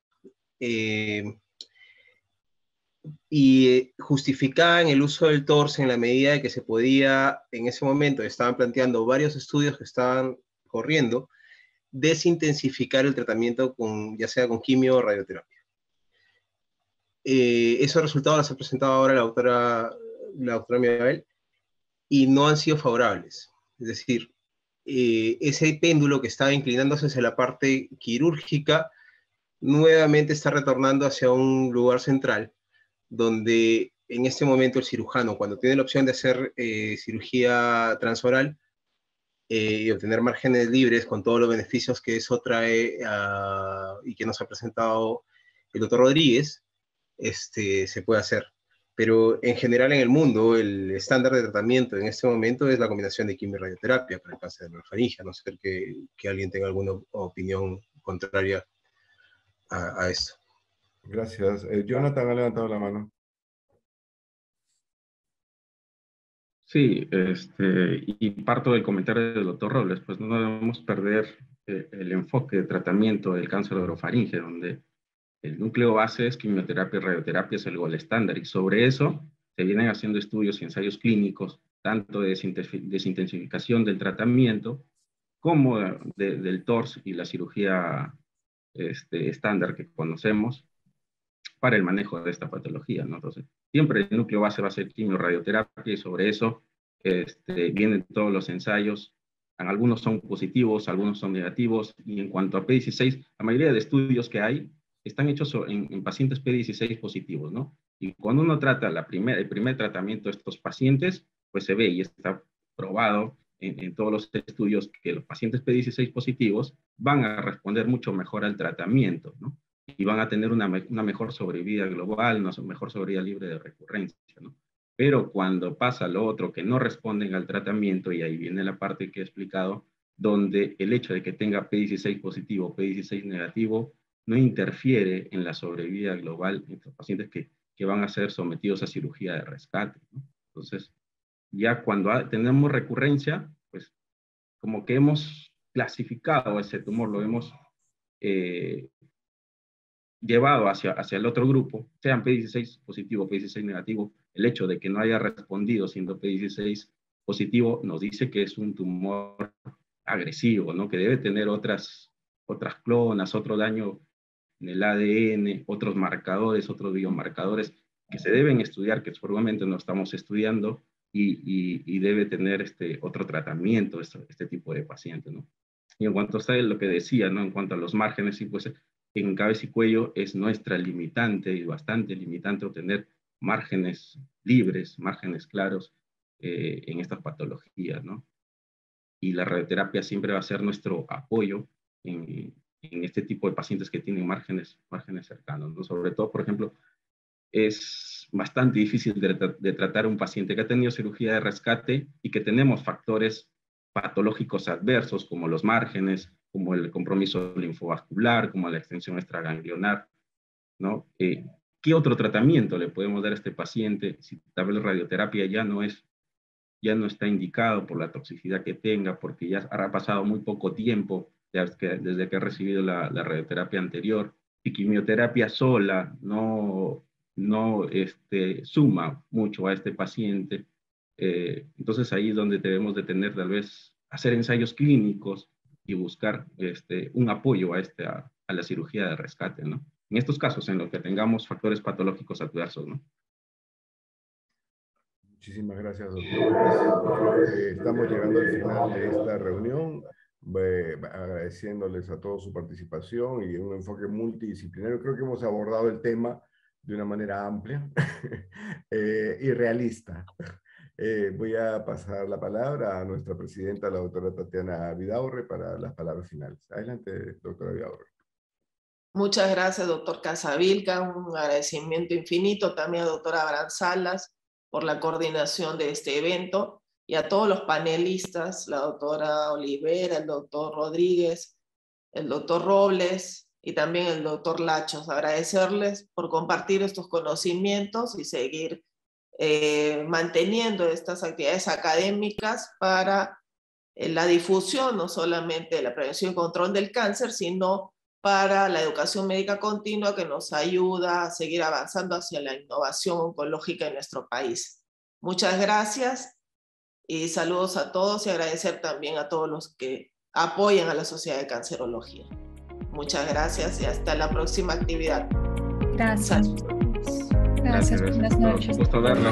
Gracias.